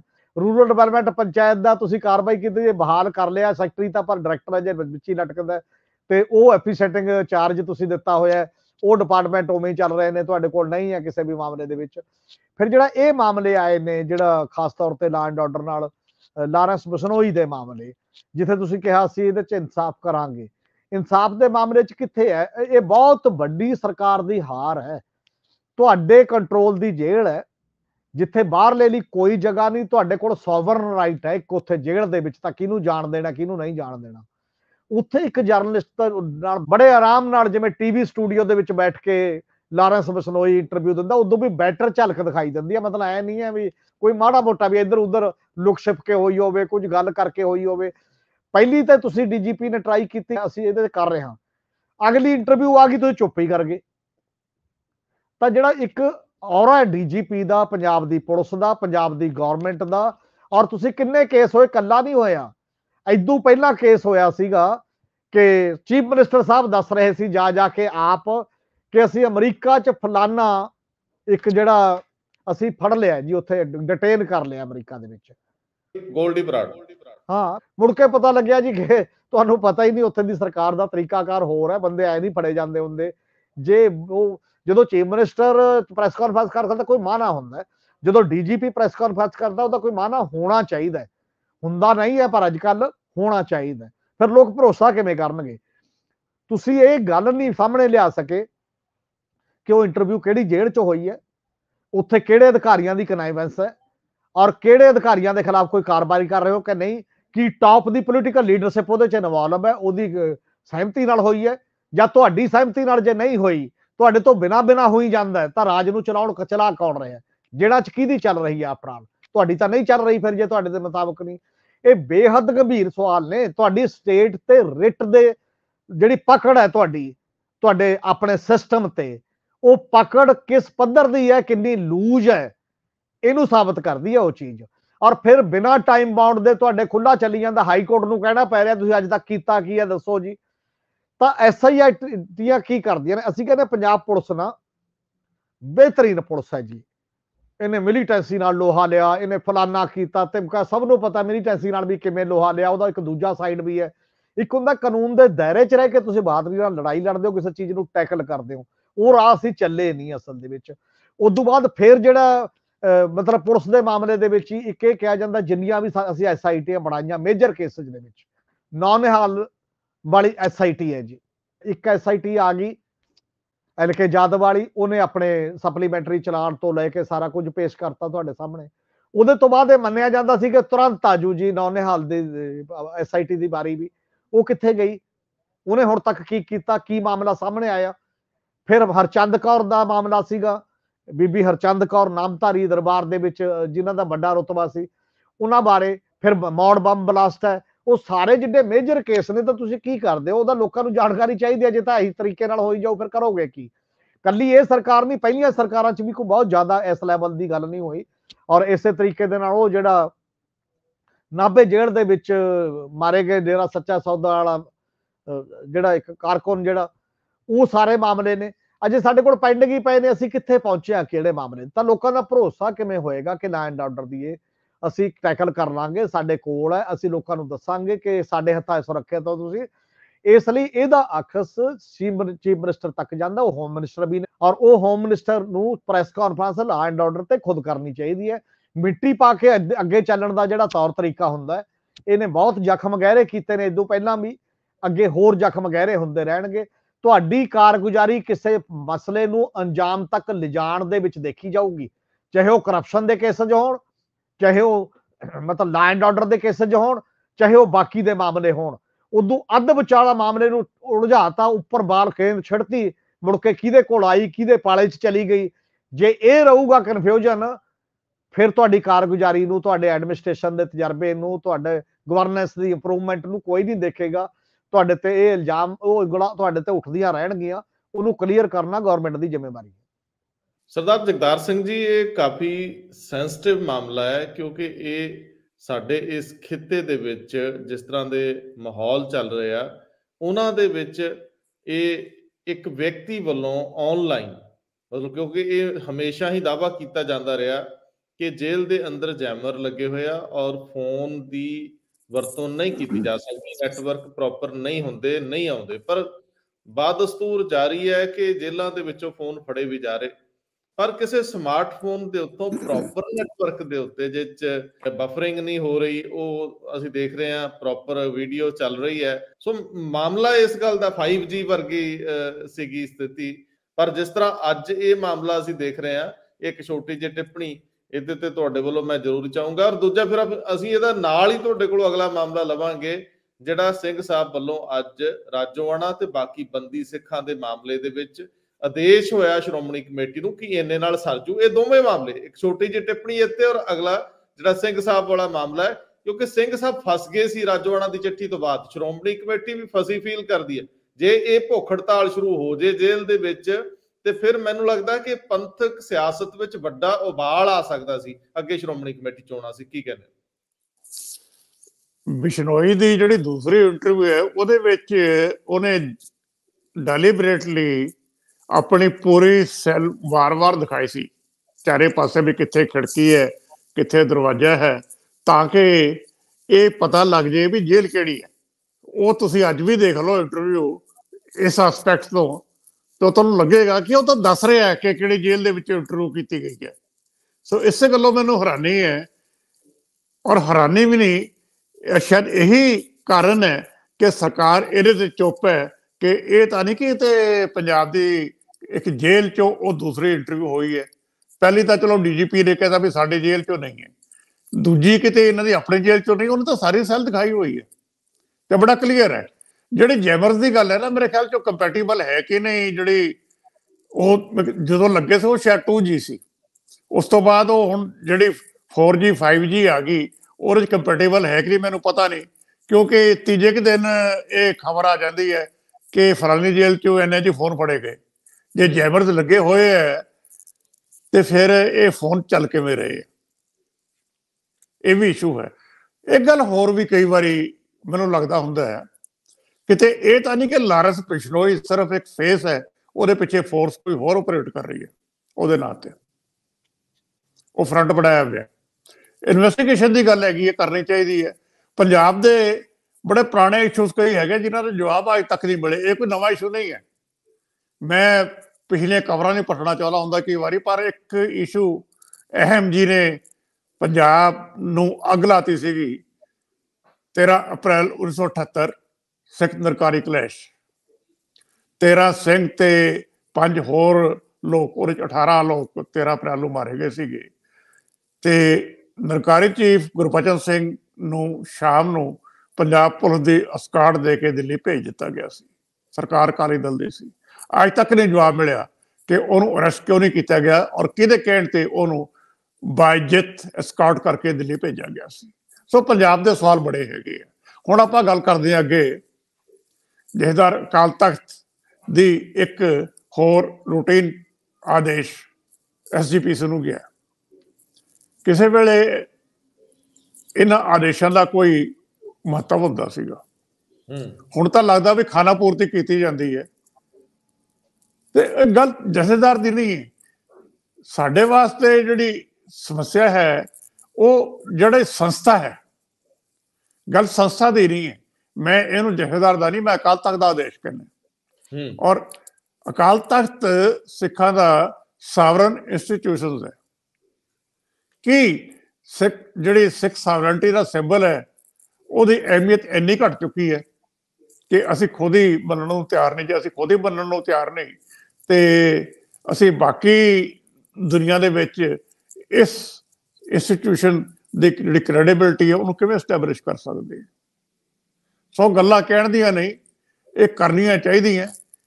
ਲੇਕਿਨ ਇਹ ਸਾਨੂੰ ਸਾਰਿਆਂ ਨੂੰ ਪਤਾ ਹੈ, ਪੁਰਾਣਾ ਇਸ਼ੂ ਹੈ, ਤੇ ਇਹਨਾਂ ਐਸਜੀਪੀਸੀ ਨੇ, ਜੇ 25 26 ਲੱਖ ਸਾਈਨ ਕਰਾ ਕੇ ਐਸਜੀਪੀਸੀ ਨੇ ਆਪਣੇ ਕੋਲੇ ਰੱਖੇ ਹੋਏ ਆ। ਉਹ ਵਿਚਾਰੇ ਸਬਮਿਟ ਕਰਾਉਣ ਜੋਗੇ, ਮੈਂ ਲਫ਼ਜ਼ ਵਿਚਾਰੇ ਵਰਤ ਰਿਹਾ। ਜੇ ਵਿਚਾਰੇ ਹੀ ਹੋ ਤੇ ਲਾਚਾਰੀ ਇੰਨੀ ਹੋ ਗਈ ਹੈ ਤੇ ਫਿਰ ਆਦੇਸ਼ ਅਕਾਲ ਤਖਤ ਤੋਂ ਆਇਆ ਨਾ ਆਇਆ ਮੇਰੇ ਖਿਆਲ ਚ ਇੱਕ ਬਰਾਬਰੀ ਹੈ ਇਹ ਗੱਲ ਤੁਹਾਡੀ ਠੀਕ ਹੈ, ਪਰ ਸਿੰਘ ਸਾਹਿਬ ਨੇ ਪੁਰਾਣਾ 2012 ਦਾ ਹਵਾਲਾ ਦਿੱਤਾ ਹੈ ਤੇ ਨਾਲ ਹੁਣ ਕਿਹਾ ਕਿ ਸਾਰੀਆਂ ਜਿੰਨੀਆਂ ਦਲ ਪੰਥ ਹੈਗੇ ਆ, ਜਿੰਨੀਆਂ ਸਭਾ ਸੁਸਾਇਟੀਆਂ, ਜਿੰਨੇ ਅਹੁਦੇਦਾਰ ਸੰਸਥਾਵਾਂ ਦੇ ਆ ਤੇ ਬੁੱਧੀਜੀਵੀ ਉਹਨਾਂ ਨੂੰ ਲੈ ਕੇ ਤੇ ਚਾਰਾ ਜੋਈ ਕਰੋ ਤੁਸੀਂ। ਪਰ ਇੱਕ ਗੱਲ ਤਾਂ ਹੋਰ ਜ਼ਿਆਦਾ ਅਹਿਮ ਹੋ ਜਾਂਦੀ ਹੈ ਕਿ ਇਸ ਵੇਲੇ ਜਿਹੜੀ ਸਥਿਤੀ ਹੈ, ਉਹ ਜਿਹੜੀ ਇਲੈਕਸ਼ਨ ਸੀ ਪਾਰਲੀਮੈਂਟ ਦੀ ਮਾਫੀ ਚਾਹੁੰਦਾ ਜਿਹੜੀ ਸੰਗਰੂਰ ਵਾਲੀ ਇਲੈਕਸ਼ਨ ਸੀਗੀ, ਜਿਹੜੀ ਵਿਧਾਨ ਸਭਾ ਦੀ ਇਲੈਕਸ਼ਨ ਤੋਂ ਬਾਅਦ ਤੁਰੰਤ ਆ ਜਾਂਦੀ ਹੈ, ਦਰਮਿਆਨ ਦੇ ਵਿੱਚ ਕਮੇਟੀ ਬਣੀ ਸੀਗੀ। ਉਸ ਕਮੇਟੀ ਵੀ ਤਾਂ ਉਹ ਵੀ ਤਾਂ ਸਿੰਘ ਸਾਹਿਬ ਦੇ ਆਦੇਸ਼ ਤੇ ਬਣੀ ਸੀ। ਉਹਦੇ ਬਾਰੇ ਤਾਂ ਰਿਪੋਰਟ ਮੰਗ ਲੈਂਦੇ ਕਿ ਉਹ ਉਹਦੇ ਹੁਣ ਕੀ ਸਟੇਟਸ ਆ, ਜੇ ਕੋਈ ਬੰਦੇ ਉਹਦੇ ਚੋਂ ਕੁਇਟ ਕਰ ਗਏ ਵੀ ਅਸੀਂ ਨਹੀਂ ਆਉਣਾ, ਅਸੀਂ ਫਲਾਣੇ ਨਾਲ ਨਹੀਂ ਬੈਠਣਾ। ਮੈਨੂੰ ਯਾਦ ਹੈ ਕੁਝ ਲੋਕਾਂ ਨੇ ਕਹਿਤਾ ਸੀ ਕਿ ਅਸੀਂ ਇਹਦੇ ਨਾਲ ਨਹੀਂ ਬੈਠਣਾ ਦਾਦੂਵਾਲ ਨੇ ਕਹਿਤਾ ਸੀ ਜਾਂ ਕੁਝ ਹੋਰ ਲੋਕਾਂ ਨੇ। ਤੇ ਬਾਅਦ ਚ ਖਿੰਡ ਪੁੰਡ ਗਈ। ਪਰ ਮੈਜੋਰਟੀ ਜੇ ਅਜੇ ਵੀ ਉਹਦੇ ਵਿੱਚ ਕਾਇਮਦਾਮ ਲੋਕ ਹੈਗੇ ਆ, ਤਾਂ ਉਹੀ ਕਿਉਂ ਨਹੀਂ ਅੱਗੇ ਵਧਦੀ? ਉਹੀ ਗ੍ਰਹਿ ਮੰਤਰਾਲੇ ਨਾਲ ਗੱਲ ਕਿਉਂ ਨਹੀਂ ਕਰਦੀ? ਉਹਨਾਂ ਕੋਲੋਂ ਮੀਟਿੰਗ ਦਾ ਸਮਾਂ ਕਿਉਂ ਨਹੀਂ ਲੈਂਦੇ? ਉਹੀ ਪ੍ਰਧਾਨ ਮੰਤਰੀ ਸਾਹਿਬ ਨੂੰ ਮਿਲਣ ਦੀ ਚਾਰਾਜੋਈ ਕਿਉਂ ਨਹੀਂ ਕਰਦੇ? ਇਹ ਸਵਾਲ ਤਾਂ ਹੈ ਹੀ ਆ ਨਾ ਜੀ। ਇਹ ਗੱਲ ਹੈ ਕਿ ਪੰਜਾਬ ਦੇ ਇਸ਼ੂਜ਼ ਵੱਡੇ ਹੈਗੇ ਆ। ਮੈਨੂੰ ਅਫਸੋਸ ਨਾਲ ਕਹਿਣਾ ਪੈਂਦਾ ਕਿ ਜਿਹੜੇ ਸਾਡੇ ਲੀਡਰ ਅੱਗੇ ਹੈਗੇ ਉਹਨਾਂ ਦੇ ਜਿਹੜੇ ਕੱਦ ਹੈਗੇ ਆ ਉਹਨਾਂ ਇਸ਼ੂਜ਼ ਦੇ ਹਾਣਦੇ ਨਹੀਂ ਤੇ ਸਮੱਸਿਆ ਸਾਰੀ ਇੱਥੇ ਆ ਜਾਂਦੀ ਹੈ। ਇਹ ਛੋਟੀ ਛੋਟੀ ਗੱਲ ਤੇ ਆਪਸ ਚ ਲੜੀ ਜਾਂਦੇ ਹੂੰ। ਇਹਨਾਂ ਦੇ ਨਿੱਜੀ ਹਿੱਤ ਇਹਨਾਂ ਨੂੰ ਜ਼ਿਆਦਾ ਪਿਆਰੇ ਹੈ ਕੌਮ ਦੇ ਹਿੱਤ ਨਹੀਂ ਪਿਆਰੇ। ਜੀ। ਦੂਜੀ ਗੱਲ ਜਿਹੜਾ ਇਹ ਮਸਲਾ ਹੈ ਇਹ ਸਿਧਾਂਤਕ ਵੀ ਹੈ ਕਿ ਸ਼੍ਰੋਮਣੀ ਅਕਾਲੀ ਦਲ ਤੇ ਐਸਜੀਪੀਸੀ ਮੈਂ ਅਕਾਲ ਤਖਤ ਸਾਹਿਬ ਦੀ ਗੱਲ ਨਹੀਂ ਕਰਦਾ। ਉਹ ਤਾਂ ਵੱਖਰਾ ਇਸ਼ੂ ਹੈ। ਕਿਉਂਕਿ ਉਹ ਸਿੰਬਲ ਸਿੱਖ ਸ਼ਕਤੀ ਦਾ ਕਿ ਜਿਹੜੀ ਇਹ ਲੜਾਈ ਲੜੀ ਗਈ ਸੀ, ਜਿਹਦਾ, ਜਿਹਦੇ ਚ ਸ਼ਾਮਲ ਸਾਹਿਬ ਬਲਵੰਤ ਸਿੰਘ ਲਾ- ਰਾਜੋਆਣਾ ਸੀ, ਕਿ ਸਿਧਾਂਤਕ ਤੌਰ ਤੇ ਉਹ ਸਹਿਮਤ ਹੈ ਇਹ ਪਾਰਟੀ। ਇਹਦੇ ਵੱਖਰੇ ਕੰਟਰਡਿਕਟਰੀ ਸਟੈਂਡ ਪਾਰਟੀ ਲੈਂਦੀ ਰਹੀ ਹੈ, ਮੈਂ ਤਾਂ ਕਹਿ ਰਿਹਾ। ਜਦ ਤੱਕ ਅਸੀਂ ਸਿਧਾਂਤਕ ਤੌਰ ਤੇ ਕਲੀਅਰ ਨਹੀਂ ਹੁੰਦੇ, ਉਦ ਤੱਕ ਮੇਰੇ ਖਿਆਲ ਦੇ ਵਿੱਚ ਅਸੀਂ ਜ਼ੋਰ ਦੇ ਕੇ ਇਹ ਇਸ਼ੂ ਟੇਕ ਅਪ ਨਹੀਂ ਕਰ ਸਕਦੇ। ਸੋ ਸਿਧਾਂਤਕ ਕਲੈਰਿਟੀ ਪਾਰਟੀ ਦੀ ਬਹੁਤ ਜ਼ਰੂਰੀ ਹੈ। ਪਹਿਲਾਂ ਦੀ ਤਰ੍ਹਾਂ ਨਹੀਂ ਅੱਜ ਇੱਕ ਸਟੈਂਡ ਲੈ ਲਿਆ ਕੱਲ ਨੂੰ ਦੂਜਾ ਲੈ ਲਿਆ। ਇਸ ਤਰ੍ਹਾਂ ਨਹੀਂ ਚੱਲੇਗਾ। ਇੱਕ ਕਲੀਅਰ ਲਾਈਨ ਡਰਾ ਕਰੋ ਕਿ ਆਹ ਸਾਡੇ ਇਸ਼ੂਜ਼ ਹੈਗੇ ਆ ਆਹ ਹੁਣ ਤੱਕ ਸਾਡਾ ਸਿਧਾਂਤ ਹੈ ਅਸੀਂ ਇੱਥੇ ਖੜੇ। ਜੀ। ਵੋਟਾਂ ਇਹ ਵੋਟਾਂ ਦੀ ਜਿਹੜੀ ਸਿਆਸਤ ਹੈ ਨਾ ਉਹਦੇ ਚ ਆ ਕੇ ਇਹ ਲਗਾਤਾਰ ਆਪਣੇ ਆਪ ਨੂੰ ਚੇਂਜ ਕਰਦੇ ਆ। ਲਾਈਨ ਖਿੱਚ ਕੇ ਚੱਲੋ ਸਿਆਸਤ ਵੋਟਾਂ ਦੀ ਕਰਨੀ ਛੱਡ ਦਿਓ। ਸਰਦਾਰ ਹਮੀਰ ਸਿੰਘ ਜੀ, ਜੇਕਰ ਇਸ ਮੌਕੇ ਤੇ, ਜੇਕਰ ਹੁਣ ਸ਼੍ਰੋਮਣੀ ਕਮੇਟੀ ਸਿੰਘ ਸਾਹਿਬ ਦੇ ਆਦੇਸ਼ ਤੇ ਕੁਝ ਕਰਨਾ ਵੀ ਚਾਹਵੇ ਤਾਂ ਕੀ ਕਰੂਗੀ? ਜੇ ਸਿਚੁਏਸ਼ਨ ਜਾਂ ਪਰਿਸਥਿਤੀਆਂ ਨੂੰ ਦੇਖੀਏ, ਤੇ ਇਹ ਤਾਂ ਕਈ ਜਗ੍ਹਾ ਫਸਿਆ, ਦਵਿੰਦਰਪਾਲ ਭੁੱਲਰ ਦਾ ਮਾਮਲਾ ਫਸਿਆ ਹੋਇਆ ਦਿੱਲੀ ਸਰਕਾਰ ਕੋਲੇ। ਇਸੇ ਤਰ੍ਹਾਂ ਬਾਕੀ ਮਾਮਲੇ, ਇੱਕ ਕਰਨਾਟਕ ਦੇ ਵਿੱਚ ਭਾਈ ਖੇੜਾ ਦਾ ਫਸਿਆ ਹੋਇਆ ਸੀਗਾ। ਔਰ ਜਿਹੜਾ ਰਾਜਵਾੜਾ ਦਾ ਮਾਮਲਾ ਵਾ, ਇਸ ਮਾਮਲੇ ਦੇ ਉੱਤੇ ਵੀ ਫੈਸਲਾ ਕੌਣ, ਕਿਹਨੇ ਹੋਣਾ? ਇਹ ਮਾਮਲਾ ਤਾਂ ਰਾਸ਼ਟਰਪਤੀ ਕੋ ਸੁਪਰੀਮ ਕੋਰਟ ਨੂੰ ਗਿਆ, ਸੁਪਰੀਮ ਕੋਰਟ ਦੇ ਵਿੱਚੋਂ ਆ ਕੇ ਗ੍ਰਹਿ ਮੰਤਰਾਲੇ ਕੋ ਫਸਿਆ ਹੋਇਆ। ਇਹਦੇ ਵਿੱਚ ਸ਼੍ਰੋਮਣੀ ਕਮੇਟੀ ਕੀ ਕਰ ਸਕਦੀ? ਕਾਨੂੰਨੀ ਚਾਰਾਜੋਈ ਕਰ ਸਕਦੀ ਹੈ? ਜਾਂ ਇਹਦੇ ਵਿੱਚ ਸ਼੍ਰੋਮਣੀ ਕਮੇਟੀ ਸਿਆਸੀ ਕਾਂ ਅੱਗੇ ਵੱਧ ਸਕਦੀ ਪਰ ਭਾਈ, ਰਾਜੋਆਣਾ ਤਾਂ ਕਹਿ ਚੁੱਕਿਆ ਕਿ ਮੇਰੀ ਜਿਹੜੀ ਇਹ ਪਟੀਸ਼ਨ ਤੁਸੀਂ ਪਾਈ ਇਹਨੂੰ ਵਾਪਸ ਲਓ, ਕਿਉਂਕਿ ਤੁਸੀਂ ਕਰਨ ਕਰਾਉਣ ਜਾ ਕੇ ਕੱਖ ਨਹੀਂ ਗਏ। ਇੱਕ ਤਾਂ ਇੱਥੇ ਛੋਟੀ ਜਿਹੀ ਟਿੱਪਣੀ ਦੇ ਦਿਓ ਤੇ ਨਾਲ ਹੀ ਇੱਕ ਦੂਜਾ ਮਸਲਾ ਮੈਂ, ਦੂਜਾ ਮੁੱਦਾ ਤੁਹਾਡੇ ਵੱਲ ਲੈ ਆਉਣਾ ਹੈ। ਕਿ ਬਿਹਾਰ ਦੀ ਅਸੈਂਬਲੀ ਵਿੱਚ ਜਿਹੜਾ ਅੱਜ 50% ਤੋਂ 65% ਤੱਕ ਰਾਖਵਾਂਕਰਨ ਕੀਤਾ ਗਿਆ ਕਾਸਟ ਕੋਟਾ ਨੂੰ ਲੈ ਕੇ, ਇਹਦੇ ਅਸਰ ਦੇਸ਼ ਦੀ ਰਾਜਨੀਤੀ ਤੇ ਜਾਂ ਸਾਡੇ ਖਿੱਤੇ ਤੇ ਜਾਂ ਇਸ ਹੁਣ ਰਾਜਨੀਤੀ ਵਿੱਚ ਇਸ ਤਰ੍ਹਾਂ ਦੇ ਪਹਿਲੂਆਂ ਦੇ ਉੱਤੇ ਅਸੀਂ ਕਿਵੇਂ ਇਹਨੂੰ ਸਮਝੀਏ? ਜੀ। ਜਿਹੜਾ ਜਥੇਦਾਰ ਸਾਹਿਬ ਨੇ ਕਿਹਾ, ਮਤਲਬ ਉਹ 2012 ਦਾ ਰੈਫਰੈਂਸ ਦਿੱਤਾ, ਤਾਂ ਹੁਣ ਦਾ ਵੀ ਦੇ ਦਿੰਦੇ ਪਿਛਲੇ ਸਾਲ ਦਾ ਰੈਫਰੈਂਸ ਤੇ ਇਹਦੇ ਵਿੱਚ ਵੀ ਇੱਕ ਜਥੇਦਾਰ ਹਰਪ੍ਰੀਤ ਸਿੰਘ ਨੇ ਕਿਹਾ ਹੀ ਸੀਗਾ ਕਿ ਕਮੇਟੀ ਬਣਾਓ, ਇੱਕ ਸਾਂਝੇ ਤੌਰ ਤੇ ਲੜਾਈ ਲੜੋ, ਉਹ ਵੀ ਨਾਲ ਇੱਕ ਅਗਲਾ ਕਦਮ ਸੀ। ਮੈਨੂੰ ਲੱਗਦਾ ਕਿ ਐਸਜੀਪੀਸੀ ਬਿਲਕੁਲ ਗੁਰਦੁਆਰਾ ਮੈਨੇਜਮੈਂਟ ਦਾ ਕੰਮ ਕਰਦੀ ਹੈ, ਪਲੱਸ ਡੈਮੋਕ੍ਰੈਟਿਕ ਇੱਕ ਆਰਗੇਨਾਈਜੇਸ਼ਨ ਹੈ, ਪਰ ਉਹਦੇ ਚ ਡੋਮੀਨੇਟ ਅਕਾਲੀ ਦਲ ਹੀ ਕਰਦਾ, ਅਕਾਲੀ ਦਲ ਦੀ ਬਿੱਲ ਨੂੰ ਹੀ ਉਹ ਰਿਪਰੈਜ਼ੈਂਟ ਕਰਨ ਲੱਗ ਜਾਂਦੀ ਹੈ, ਉਦੋਂ ਬਾਅਦ ਜਦੋਂ ਡੋਮੀਨੇਟ ਤੁਸੀਂ ਕਰਦੇ ਹੋ। ਉਹਦਾ ਪ੍ਰਧਾਨ ਤੇ ਉਹਦਾ ਸਟਰਕਚਰ ਇੰਡੀਪੈਂਡੈਂਟ ਉਸ ਪੱਧਰ ਦੀ ਹੈਸੀਅਤ ਵਾਲਾ ਨਹੀਂ ਕਈ ਵਾਰ ਤੁਸੀਂ ਪਾਰਟੀਆਂ ਚੋਂ ਤਾਂ ਆਉਂਦੇ ਹੁੰਦੇ ਹੋ ਤੁਹਾਡੀ ਇਲੈਕਸ਼ਨ ਦੇ ਵਿੱਚ ਪਾਰਟੀਆਂ ਦਾ ਰੋਲ ਹੁੰਦਾ ਹੈ। ਪਰ ਜਦ ਤੁਸੀਂ ਇਲੈਕਸ਼ਨ 'ਚ ਆ ਜਾਂਦੇ ਹੋ, ਚੁਣੇ ਜਾਂਦੇ ਹੋ, ਉਦੋਂ ਤੁਸੀਂ ਕੁਝ ਹੱਦ ਤੱਕ ਇੰਡੀਪੈਂਡੈਂਟ ਹੈਸੀਅਤ ਦੇ ਵਿੱਚ ਵੀ ਕਈ ਰੋਲ ਪਲੇ ਕਰ ਸਕਦੇ ਹੁੰਦੇ ਹੋ। ਔਰ ਹੁਣ ਦੀ ਐਜੀਪੀਸੀ ਸ਼ਾਇਦ ਉਹ ਇੰਡੀਪੈਂਡੈਂਸ ਗਵਾ ਚੁੱਕੀ ਹੈ। ਮਤਲਬ ਉਸ ਢੰਗ ਨਾਲ ਸਟੈਂਡਲੈਂਡ ਦੀ ਜਿਹੜੀ ਇੱਕ ਗੱਲ ਹੁੰਦੀ ਹੈ, ਉਹ ਤੋਂ ਦੂਰ ਹੈ ਵੀਕ ਹੈ ਕੰਪੈਰੀਟਿਵਲੀ ਉਸ ਸਾਰੇ ਮਾਮਲੇ ਦੇ ਵਿੱਚ। ਹੁਣ ਜੇ ਲੋਕ ਇਹ ਕਹਿੰਦੇ ਨੇ ਕਿ ਐਜੀਪੀਸੀ ਜਿਹੜਾ ਸਿੱਖ ਪੰਥ ਦਾ ਦਾਇਰਾ ਹੈ, ਕਿ ਐਜੀਪੀਸੀ ਇੱਕ ਅਕਾਲੀ ਦਲ ਨਾਲ ਹੈ ਮੰਨ ਲਓ ਤੇ ਉਸ ਤੋਂ ਬਾਅਦ ਬਾਕੀ ਦਿੱਲੀ ਗੁਰ- ਗੁਰਦੁਆਰਾ ਪ੍ਰਬੰਧਕ ਕਮੇਟੀ ਸਿੱਖ ਗੁਰਦੁਆਰਾ ਪ੍ਰਬੰਧਕ ਕਮੇਟੀ ਅਲੱਗ ਟਾਈਪ ਦੀ ਵਿਚਰ ਰਹੀ ਹੈ। ਹਰਿਆਣੇ ਅਲੱਗ ਬਣੇਗੀ। ਵੱਖ-ਵੱਖ ਮਾਮਲਿਆਂ ਤੇ ਜੇ ਪ੍ਰਬੰਧਕ ਕਮੇਟੀਆਂ ਅਲੱਗ-ਅਲੱਗ ਬਣਨਗੀਆਂ ਔਰ ਜਿਹੜੀਆਂ ਅੱਗੇ ਰਸਤਾ ਖੁੱਲ ਗਿਆ ਬਲਕਿ ਹੋਰ ਵੀ ਬਣਨਗੀਆਂ ਤਾਂ ਪੰਥਕ ਕੰਸੋਲੀਡੇਸ਼ਨ ਲਈ ਕਿਹੜੀ ਧਿਰ ਬਚਦੀ ਹੈ ਫਿਰ ਕੱਲੀ ਉਹ ਜਥੇਦਾਰ ਅਕਾਲ ਤਖਤ ਦੀ ਸੰਸਥਾ ਬਚਦੀ ਹੈ ਨਾ, ਅਕਾਲ ਤਖਤ ਬਚਦਾ ਜਿਹਦੇ ਚੋਂ ਆਉਣਗੇ ਇਹਨਾਂ ਤੋਂ ਬਾਹਰ। ਤਾਂ ਅ- ਜਥੇਦਾਰ ਅਕਾਲ ਤਖਤ ਆਪਦੇ ਮੋਢਿਓ ਲਾ ਕੇ ਸਾਰਾ ਕੁਝ ਕਿਉਂ ਪਾਉਣਾ ਚਾਹੁੰਦੇ ਨੇ ਕਿ ਐਜੀਪੀਸੀ ਦੇ ਪਾ ਦਿਓ ਖਾਤੇ? ਜੀ, ਤੁਸੀਂ ਕਰੋ ਜੀ ਕੁਛ ਕੁਛ ਨਹੀਂ ਕਰੋ। ਜੇ ਐਜੀਪੀਸੀ ਦੇ ਸੱਦੇ ਤੇ ਸਾਰੇ ਨਹੀਂ ਆਉਣ ਲਈ ਤਿਆਰ, ਪਹਿਲਾਂ ਪਿੱਛੇ ਕੀ ਹੋਇਆ ਸੀ? ਜਿਹੜੀ ਕਮੇਟੀ ਬਣੀ, ਕਮੇਟੀ ਤੇ ਇਤਰਾਜ਼ ਸਟਾਰਟ ਹੋ ਗਏ ਉਦੋਂ ਹੀ ਕਿ ਸੁਖਬੀਰ ਸਿੰਘ ਬਾਦਲ ਉੱਥੇ ਪ੍ਰਧਾਨ ਦੇ ਤੌਰ ਤੇ ਡੋਮੀਨੇਟ ਕਰਦੇ ਨੇ, ਉਹਨਾਂ ਦੀ ਗੱਲ ਚੱਲਦੀ ਹੈ ਕਿਉਂਕਿ ਉਹਨਾਂ ਦੀ ਸ਼੍ਰੋਮਣੀ ਕਮੇਟੀ ਹੈ।